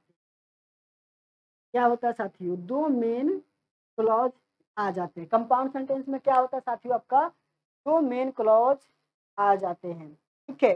जिस सेंटेंस में क्या हो? दो मेन क्लॉज आ जाए, ठीक है? जिस सेंटेंस में क्या हो, दो मेन क्लॉज आ जाए इसे कंपाउंड सेंटेंस कहते हैं। आपके स्क्रीन पर लग गया होगा, जिस सेंटेंस में दो मेन क्लॉज हो, दो मेन क्लॉज हो, इसे कंपाउंड कहते हैं। इसे मैं देसी तरीका से भी समझाऊँगा, बस बने रहना। फटाफट नोट कर लो, आपकी स्क्रीन पे दिखाई दे रहे होंगे। मैं मैं जरा हट जा रहा हूँ, ठीक है? आपके स्क्रीन पे दिखाई दे रहे होंगे, ये देखिए ये देखिए स्क्रीन पे दिखाई दे रहे आपके। फटाफट नोट को यहाँ पे कुछ एग्ज़ाम्पल लिखे हुए एग्ज़ाम्पल को मैं डिटेल्स में बताऊँगा आप साथ को, साथियों को, ठीक है? चलो फटाफट नोट डाउन करो। चलो जल्दी से नोट डाउन कर लो। चलो, मैं अगर तो आप सबने नोट डाउन कर लिया होगा। आ जाओ। हम समझेंगे कंपाउंड सेंटेंस को। क्योंकि सारी चीज़ मैं लिखूँगा ना, ज़्यादा टाइम लगता है। मैं आपको टाइम बचाना चाह रहा हूँ, लिखवाना नहीं चाह रहा हूँ, क्योंकि लिखवाने से साथियों को टाइम ज़्यादा लग जाते हैं, मुझे पता है।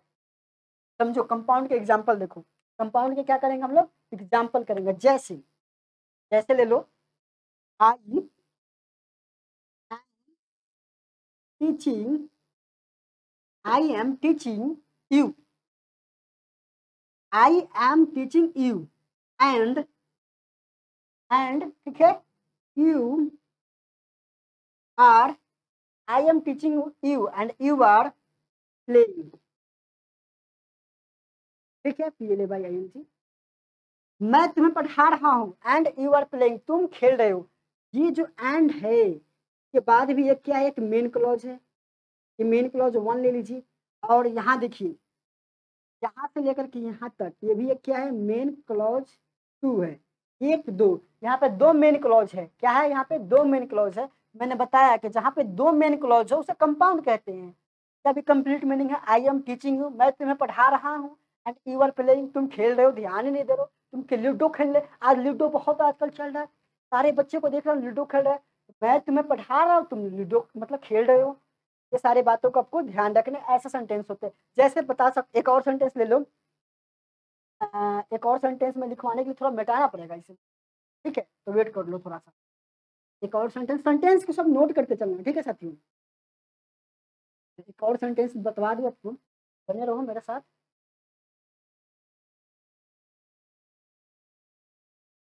बस देखो साथियों जो चीज़ आप अब दस सालों में नहीं सीख पाए हो ना एक क्लास में नहीं सिखा पाऊँगा, क्योंकि आप पहली बार मेरे क्लास कर रहे हो धीरे धीरे मेरे से लैंग्वेज समझने में कुछ दिन लग जाएँगे, मैं किस वे से पढ़ा रहा हूँ। तो बस पेशेंस रखना। देखो, विद्यार्थी के पास एक तो पेशेंस होना चाहिए, यानी कि धैर्य होना चाहिए और एक कॉन्फिडेंस कॉन्फिडेंस होगा साथियों, बहुत कुछ कर सकते हो, धैर्य होगा तो बहुत कुछ कर सकते हो तो बस धैर्य बनाए रखो और कॉन्फिडेंस रखो कि मैं सीख जाऊँगा। और मैं हमेशा ये सोचता हूँ कि मैं आपको हंड्रेड परसेंट सिखा दूँ, ठीक है? मेरा यही कंसेप्ट रहता है। हमने कंपाउंड का आपको एक एग्ज़ाम्पल दिया कि I am teaching you you are playing मैं तुम्हें पढ़ा रहा हूँ, तुम खेल रहे हो। चलो, एक और एग्ज़ाम्पल ले लो मेरे से। एक और एग्ज़ाम्पल ले लो, ताकि तुमको क्लैरिटी मिल जाए। एक और एग्ज़ाम्पल ले लो। क्या? जैसे मैं बोल दूँ, एक और एग्ज़ाम्पल क्या बता दूँ? ले लो। He is sorry he teach he teach and you you cry वह पढ़ाता है, वह पढ़ाता है। तुम रोते हो। वह पढ़ाता है, तुम रोते हो। क्यों रोते हो? क्योंकि तुम याद करके नहीं जाते हो, पिटाई खाते हो, इसलिए रोते हो। कह रहे you he teach and you cry अब यहाँ पे कुछ लॉजिक आ रहा होगा आपके साथ अभी कोई कमेंट देख रहा हूँ यहाँ पे कमेंट सबकी दिख रही साथियों, देखो यहाँ पे कमेंट दिख रही है। देखिए, सबकी कमेंट में देख रहा हूँ। आप कमेंट करो, क्या सीख पाओ कंपाउंड कंपाउंड समझ में आए? जब दो मेन क्लॉज हो, समझना मेरी बातों को, जब दो मेन क्लॉज हो तो उस वाले सेंटेंस जो दो मेन क्लॉज जिस सेंटेंस में उसे क्या बोलते हैं? कंपाउंड सेंटेंस बोलते हैं। यार, जहाँ पे जिस सेंटेंस में दो मेन क्लॉज आ जाए तो कंपाउंड सेंटेंस करेंगे। अब देखो, अभी तक ना आपने गौर किया होगा, इन दोनों मेन क्लॉज के कुछ ना कुछ जोड़ने के लिए वर्ड यूज़ किए। जैसे मैंने एंड का यूज़ किया था। अब एक और एग्ज़ाम्पल देख लो, ताकि क्लियर हो पाए। एक और एग्ज़ाम्पल देखो। जैसे मैंने यहाँ पे लिखा आई टीच नहीं आई हाँ चलो ठीक है। I teach I teach, I teach, but, but you, but you laugh. मैं पढ़ाता हूँ लेकिन आप हँसते हो देखो। आई टीच मैं पढ़ाता हूँ बट यू लाफ अब यहाँ पे कुछ चीज़ें मुझे निकल के आ रहे हैं। क्या? यहाँ से एक यहाँ तक एक मेन क्लॉज था। यहाँ से लेकर के यहाँ तक भी एक मेन क्लॉज था, लेकिन बीच में ये वर्ड यहाँ भी वर्ड क्या कर रहे हैं? दोनों सेंटेंस को कुछ ना कुछ ये तो रिलेट करवा रहे हैं ना कंपाउंड कुछ ना कुछ जोड़ रहे हैं दोनों सेंटेंसों को, और दो मेन क्लॉज वो जिस सेंटेंस में वो कंपाउंड कहलाता है, हमने बातों को सीखा। ये और ये कुछ ना कुछ जोड़ रहे हैं। तो मुझे एक कंसेप्ट यहाँ से क्लियर हो गया आता है क्या क्लियर हो गया आता है? समझ लो ना? इस वर्ड में हैंड बॉयज़ मैं लिख दे रहा हूँ, समझो। किस तो यहाँ पे दिखाई देगा ना इस वर्ड में F A N D O Y इस इस सेंटेंस में फैनबॉइज से दो मेन क्लॉज जुड़ा हो इस सेंटेंस में फैनबॉइज की आवश्यकता पड़ा हो सेंटेंस को जोड़ने के लिए, वो कंपाउंड होते, राम बान तरीका बता दिया। सेंटेंस में fanboys F A N B O Y S ये फ़ैन बॉयज़ क्या होते हैं? दिमाग में आपका आना चाहिए। मैं कमेंट सबकी देख रहा हूँ साथियों, यहाँ पे कमेंट सबकी आ रही है, सबकी कमेंट देख रहा हूँ। लेकिन मैं अभी कमेंट में पढ़ना नहीं चाह रहा पता क्यों?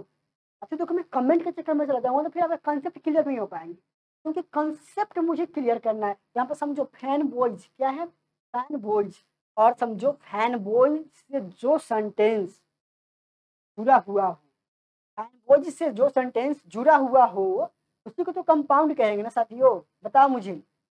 उसी को ना कंपाउंड कहेंगे, अभी नहीं समझ पाए तो समझो, उससे भी नहीं समझ पाते और समझो, देसी तरीका तो ऐसा क्लॉज ले लो, दो गो ऐसा क्लॉज ले लो अपना अपना कंप्लीट मीनिंग हो, या उसका अपना कंप्लीट मीनिंग हो, उसका भी कंप्लीट मीनिंग हो, और दोनों को जोड़ के एक सेंटेंस बना देते हो, उसी को तो कंपाउंड कहते हैं। कंपाउंड देखो, आप साइंस में पढ़े होगे अलग अलग तत्वों को मिला करके एक नया तत्व बना देते हैं उसी को तो ही कंपाउंड कहते हैं तो यहाँ भी अप्लाई करो ना।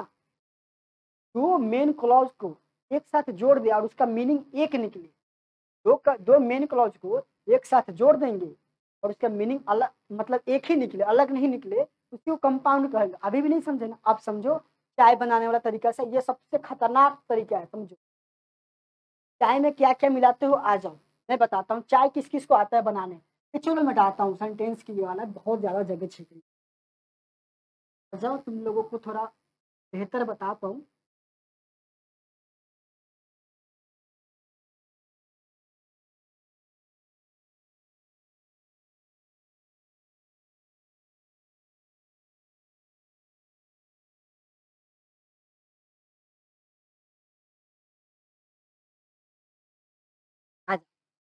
मैं कह रहा था कि चाय बनाना किस किस को आता है, चाय किस किस ने पिया है? फटाफट कमेंट करो, सबकी कमेंट देख रहा हूँ मैं।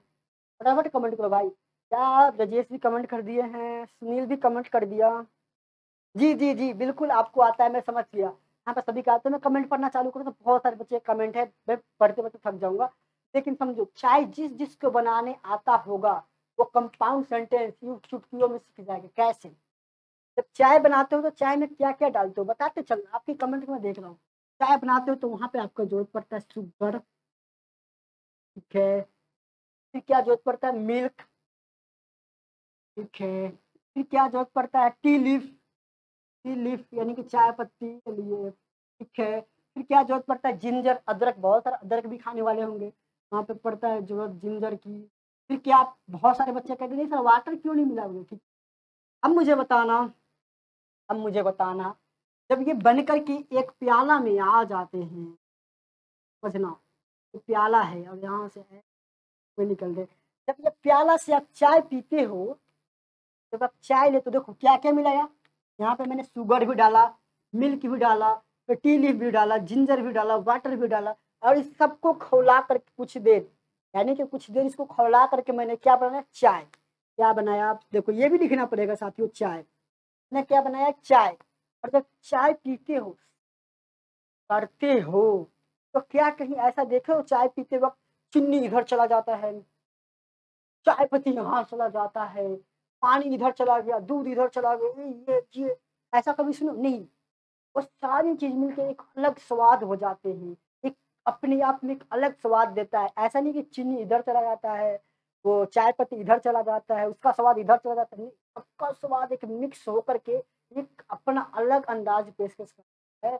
तो उसी तरह कंपाउंड सेंटेंस से दो मेन क्लोज अलग अलग मेन क्लोज को जोड़ने पे यानी दो मेन क्लॉज मिल करके एक नया सेंटेंस को रूप दे देते हैं, एक नया मीनिंग प्रेजेंट कर देते हैं। उसी को तो कंपाउंड कहते हैं। दो मेन क्लॉज को जोड़ दो कंपाउंड हो जाएँगे। समझ गए होगे? बहुत अच्छे लड़के हो, आप समझ गए होगे, ठीक है? फिर से यहाँ पे देख लो, आपके स्क्रीन पर टेक्निकल मॉडल लगा देंगे। मैं थोड़ा हट जा रहा हूँ टेक्निकल जी लगा दे थोड़ा वो बच्चों को दिखा दीजिए। देखिए, यहाँ पे लिखा हुआ, फटाफट देख लीजिए आप साथियों। यहाँ पे लिखा हुआ है आपका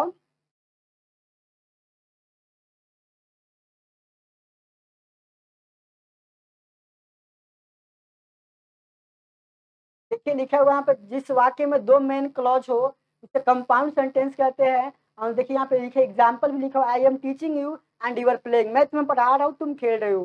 फिर एक और एग्ज़ाम्पल लिखा हुआ है I am teaching here and you are learning here मैं यहाँ पढ़ा रहा हूँ मैं यहाँ पढ़ा रहा हूँ तभी तो तुम सीख पा रहे हो। फिर एक और एग्ज़ाम्पल लिखा होगा I study but you play मैं पढ़ मैं पढ़ाई कर अध्ययन कर, करता हूँ लेकिन तुम खेलते हो। ये सारे एग्ज़ाम्पल थे कंपाउंड का कंपाउंड बहुत अच्छे तरीके से सीखोगे।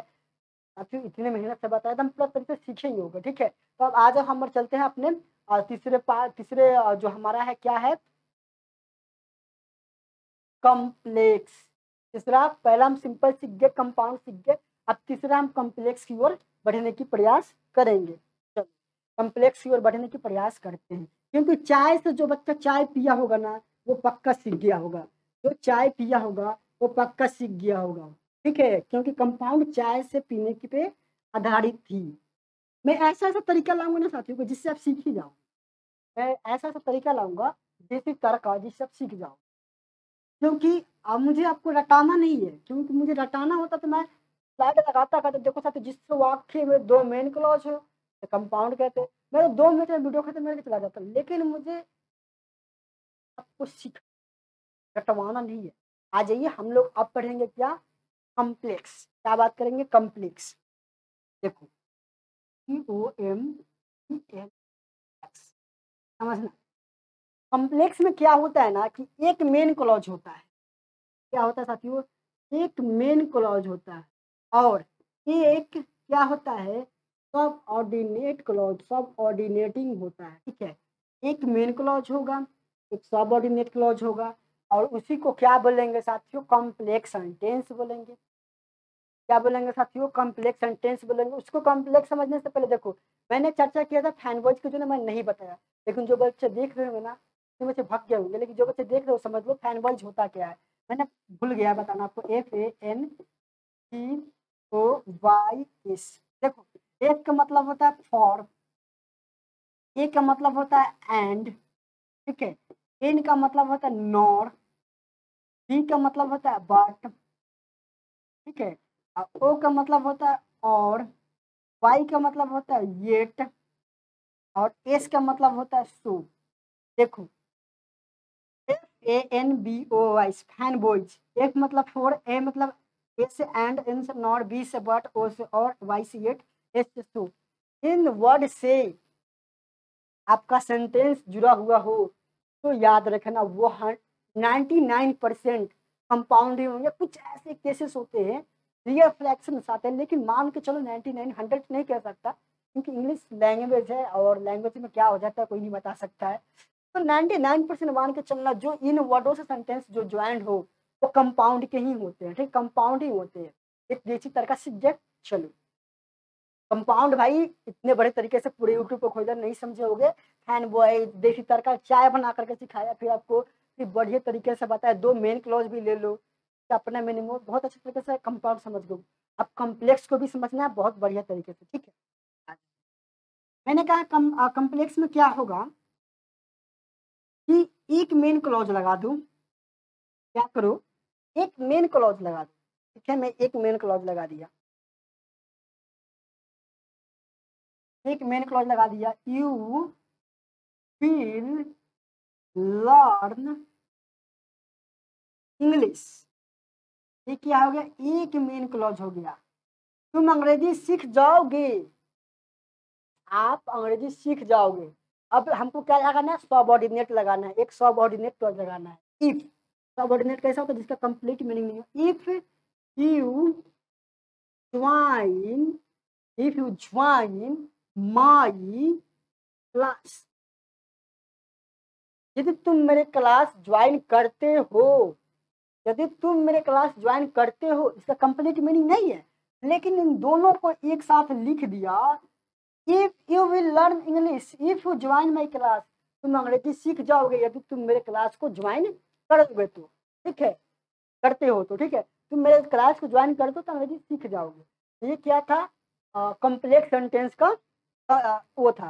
तो कम्प्लेक्स सेंटेंस का कुछ उदाहरण उदाहरण मतलब जो डिफिनेशन होता है स्क्रीन पे मैं लगवा दे रहा हूँ। देख लीजिए, देख लीजिएगा, ठीक है? कम्प्लेक्स सेंटेंस का। तो देख लीजिए, यहाँ पे लिखा हुआ है, जिस वाक्य में एक मेन क्लॉज हो और एक सबॉर्डिनेट क्लॉज हो, उसी को कम्प्लेक्स सेंटेंस कहते हैं। कुछ एग्ज़ाम्पल है, फटाफट देख लो, यहाँ पे दिया होगा।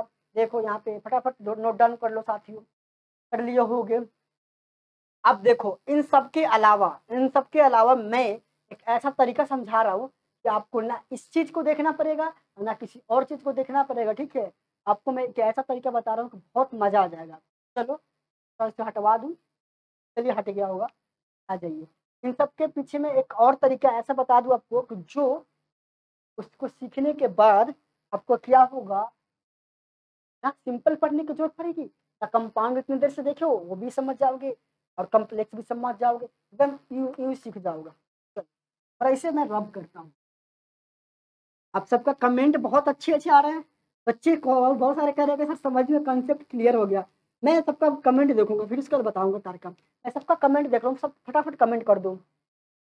फटाफट कमेंट कर दो, सभी साथियों सभी साथियों कमेंट कर दो। वाह इमोजी भेजो साथ। साथ ही साथ इमोजी हो जो लाल, पीले वाला इमोजी हो जो ताकि मैं समझ सकूँ, आप सब समझ रहे हो।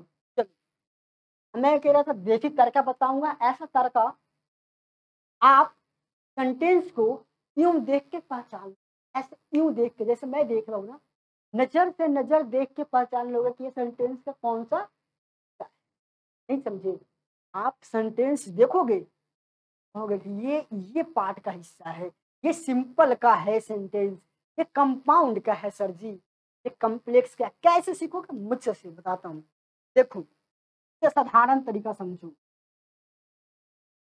वैसा सेंटेंस जो केवल एक क्लॉज हो इसमें, जिसमें केवल एक मेन क्लॉज हो, जिसमें केवल एक मेन क्लॉज हो, वो सिंपल कहलाता है। क्या कहलाता है साथियों? सिंपल कहलाता है। सिंपल फंड उतनी देर से क्या पढ़े? सारी को छोड़ एक चुटकियों में। दूसरा बात याद रखो। जो sentence F A N B O Y S से जुड़ा हो, से क्या हो? जुड़ा हो। वो क्या कहलाएगा साथियों आपका? कॉम्प्लेक्स कहलाएगा। क्या कहलाएगा साथियों?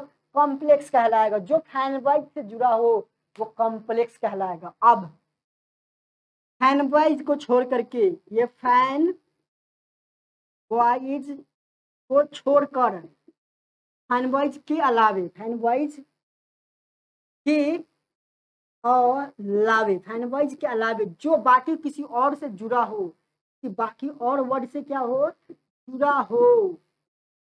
क्या बोलते हैं साथियों? उसी को क्या बोलते हैं साथियों? आपको हम कॉम्प्लेक्स बोलते हैं। क्या बोलते हैं साथियों? कॉम्प्लेक्स बोलते हैं। समझ गए सारे चीज़ उतने देर जो कुछ भी पढ़े, उतने देर में सारे के निचोड़ समझो, जिसमें एक क्लॉज हो, जो किसी से भी ना जुड़ा हो सिंपल फॉर्म में हो मेन क्लॉज कहलाएगा। जो किसी से ना जुड़ा हो, भाई वो बंदा बहुत सीधा हो। वैसा सेंटेंस जो देखने में बहुत प्यारा हो, जैसे he is he is a boy I eat a mango you go ये सारे में किसी वर्ड से जुड़े हैं, किसी और वर्ड से जुड़े, नहीं, किसी ना किसी वर्ड से नहीं जुड़े हुए, ये साधारण कहलाएँगे सिंपल सेंटेंस वैसे सेंटेंस जो फ़ैन वाइज से जुड़ा हुआ हो क्या हो, जुड़ा हुआ हो तो उसे कंपाउंड कहेंगे। और ये फ़ैन वाइज जो भैया साहब है, इनके अलावा कौन और वर्ड से जुड़ जाएगा तो क्या बोलेंगे कॉम्प्लेक्स बोलेंगे। तो ये थी हमारी छोटी सी आपको बताने की ट्रिक अब इसके अलावा भी नहीं समझे होंगे ना तो एक और देसी तरीका है समझाने के लिए, जिसे समझना आपको बहुत जल्दी समझ जाओगे, ठीक है? एक और देसी तरीका समझो, कैसे समझोगे सेंटेंस को? वो देसी तरीका समझो। ये लास्ट होगा देसी तरीका क्योंकि मैंने सेंटेंस बताने के लिए पूरे यूट्यूब पे खोज लेना। इस तरह से चार पाँच तरीके से सेंटेंस पहचाना नहीं बताया गया, ठीक है? ये बात याद रखना, बहुत जो मैंने अभी तक मैंने जो दो तीन सालों में मतलब चार सालों से जो कुछ भी पढ़ा हूँ सारी चीज़ें इसमें इनबिल्ड कर दिया हूँ, ठीक है साथियों? और ये सेंटेंस का सबसे बेस्ट तरीका, जो अब लास्ट में बताऊँगा ना, पूरे खोज के देखना लेना ये नहीं बताया गया होगा, ठीक है? क्योंकि कंसेप्ट यहाँ पे सीखो, बाकी चीज़ तो डाटा डाटा आपको मिल ही जाएगा सारे बुक में, सब जगह जब आप सिंगल होते हो, यहाँ पे समझना फिगर से, जब आप क्या होते हो सिंगल होते हो, अकेले रहते हो, क्या होते हो, अकेले रहते हो, किसी से कुछ मतलब नहीं होता, आप अकेले हो देन उस कंडीशन में देन उस कंडीशन में क्या होते हो आप सिंपल फॉर्म में रहते हो। क्या होते हो सिंपल कहते नहीं हम लोग हम लोग सिंपल लड़का हैं। जब कोई सेंटेंस साधारण तरीका से रहता होगा तो सिंपल होता है। जैसे जैसे आपकी उम्र बढ़ जाएगी साथियों, जैसे जैसे आप सियाने होते चले जाओगे, किसी न किसी पीरियड ऑफ़ टाइम आएँगे, तब तो आपको क्या होगी, हो जाएँगे, आप दो जने हो जाएँगे। यानी कि आपकी क्या हो जाएगी? शादी हो जाएँगे। साथ ही अब दो जने हो जाएँगे। मैंने बताया आपको कि जब दो मेन क्लॉज जुड़ जाते हैं, जब दो मेन क्लॉज जुड़ जाते हैं तो कंपाउंड हो जाते हैं। तब आप क्या चीज़ के उदाहरण हो जाएँगे आप? आप हो जाएँगे कंपाउंड का उदाहरण। क्या चीज़ का उदाहरण हो जाएँगे? कंपाउंड का। और जब आप यहाँ पे थे और यहाँ पे आप थे मतलब ना? आप यहाँ पे थे, यहाँ पे थे, ठीक है? ये देखना फिगर थोड़ा कैसा भी हो जाए, कोई बात नहीं है। यहाँ अकेले थे, यहाँ आपकी आप हैं और ये आपकी शादी होगी हुए है। और यहाँ पे आप हैं और आप हैं। आने वाला फ्यूचर में आपके पास ऐसे ऐसे हो जाएँगे मतलब समझ रहे हो ना? तो क्या हो जाएँगे? इस किसके एग्ज़ाम्पल हो गए? हम दो, हमारे दो, ये क्या हो जाएँगे? कम्प्लेक्स कम्प्लेक्स का मतलब होता है मोर देन यानी बहुत सारी चीज़ों को जोड़ देना, ठीक है? तो वो थे आपके की क्या क्या चीज़ के उदाहरण हो जाओगे? कम्प्लेक्स की। इसकी उदाहरण हो जाओगे? कम्प्लेक्स की। तो ये थे एकदम बहुत आसान तरीका सेंटेंस को समझने की सेंटेंस में जो अकेले हो सिंपल कहलाएगा, जिसमें दो जुड़ जाए कंपाउंड कहलाएगा, हम दो, हमारे दो कम्प्लेक्स कहलाएगा।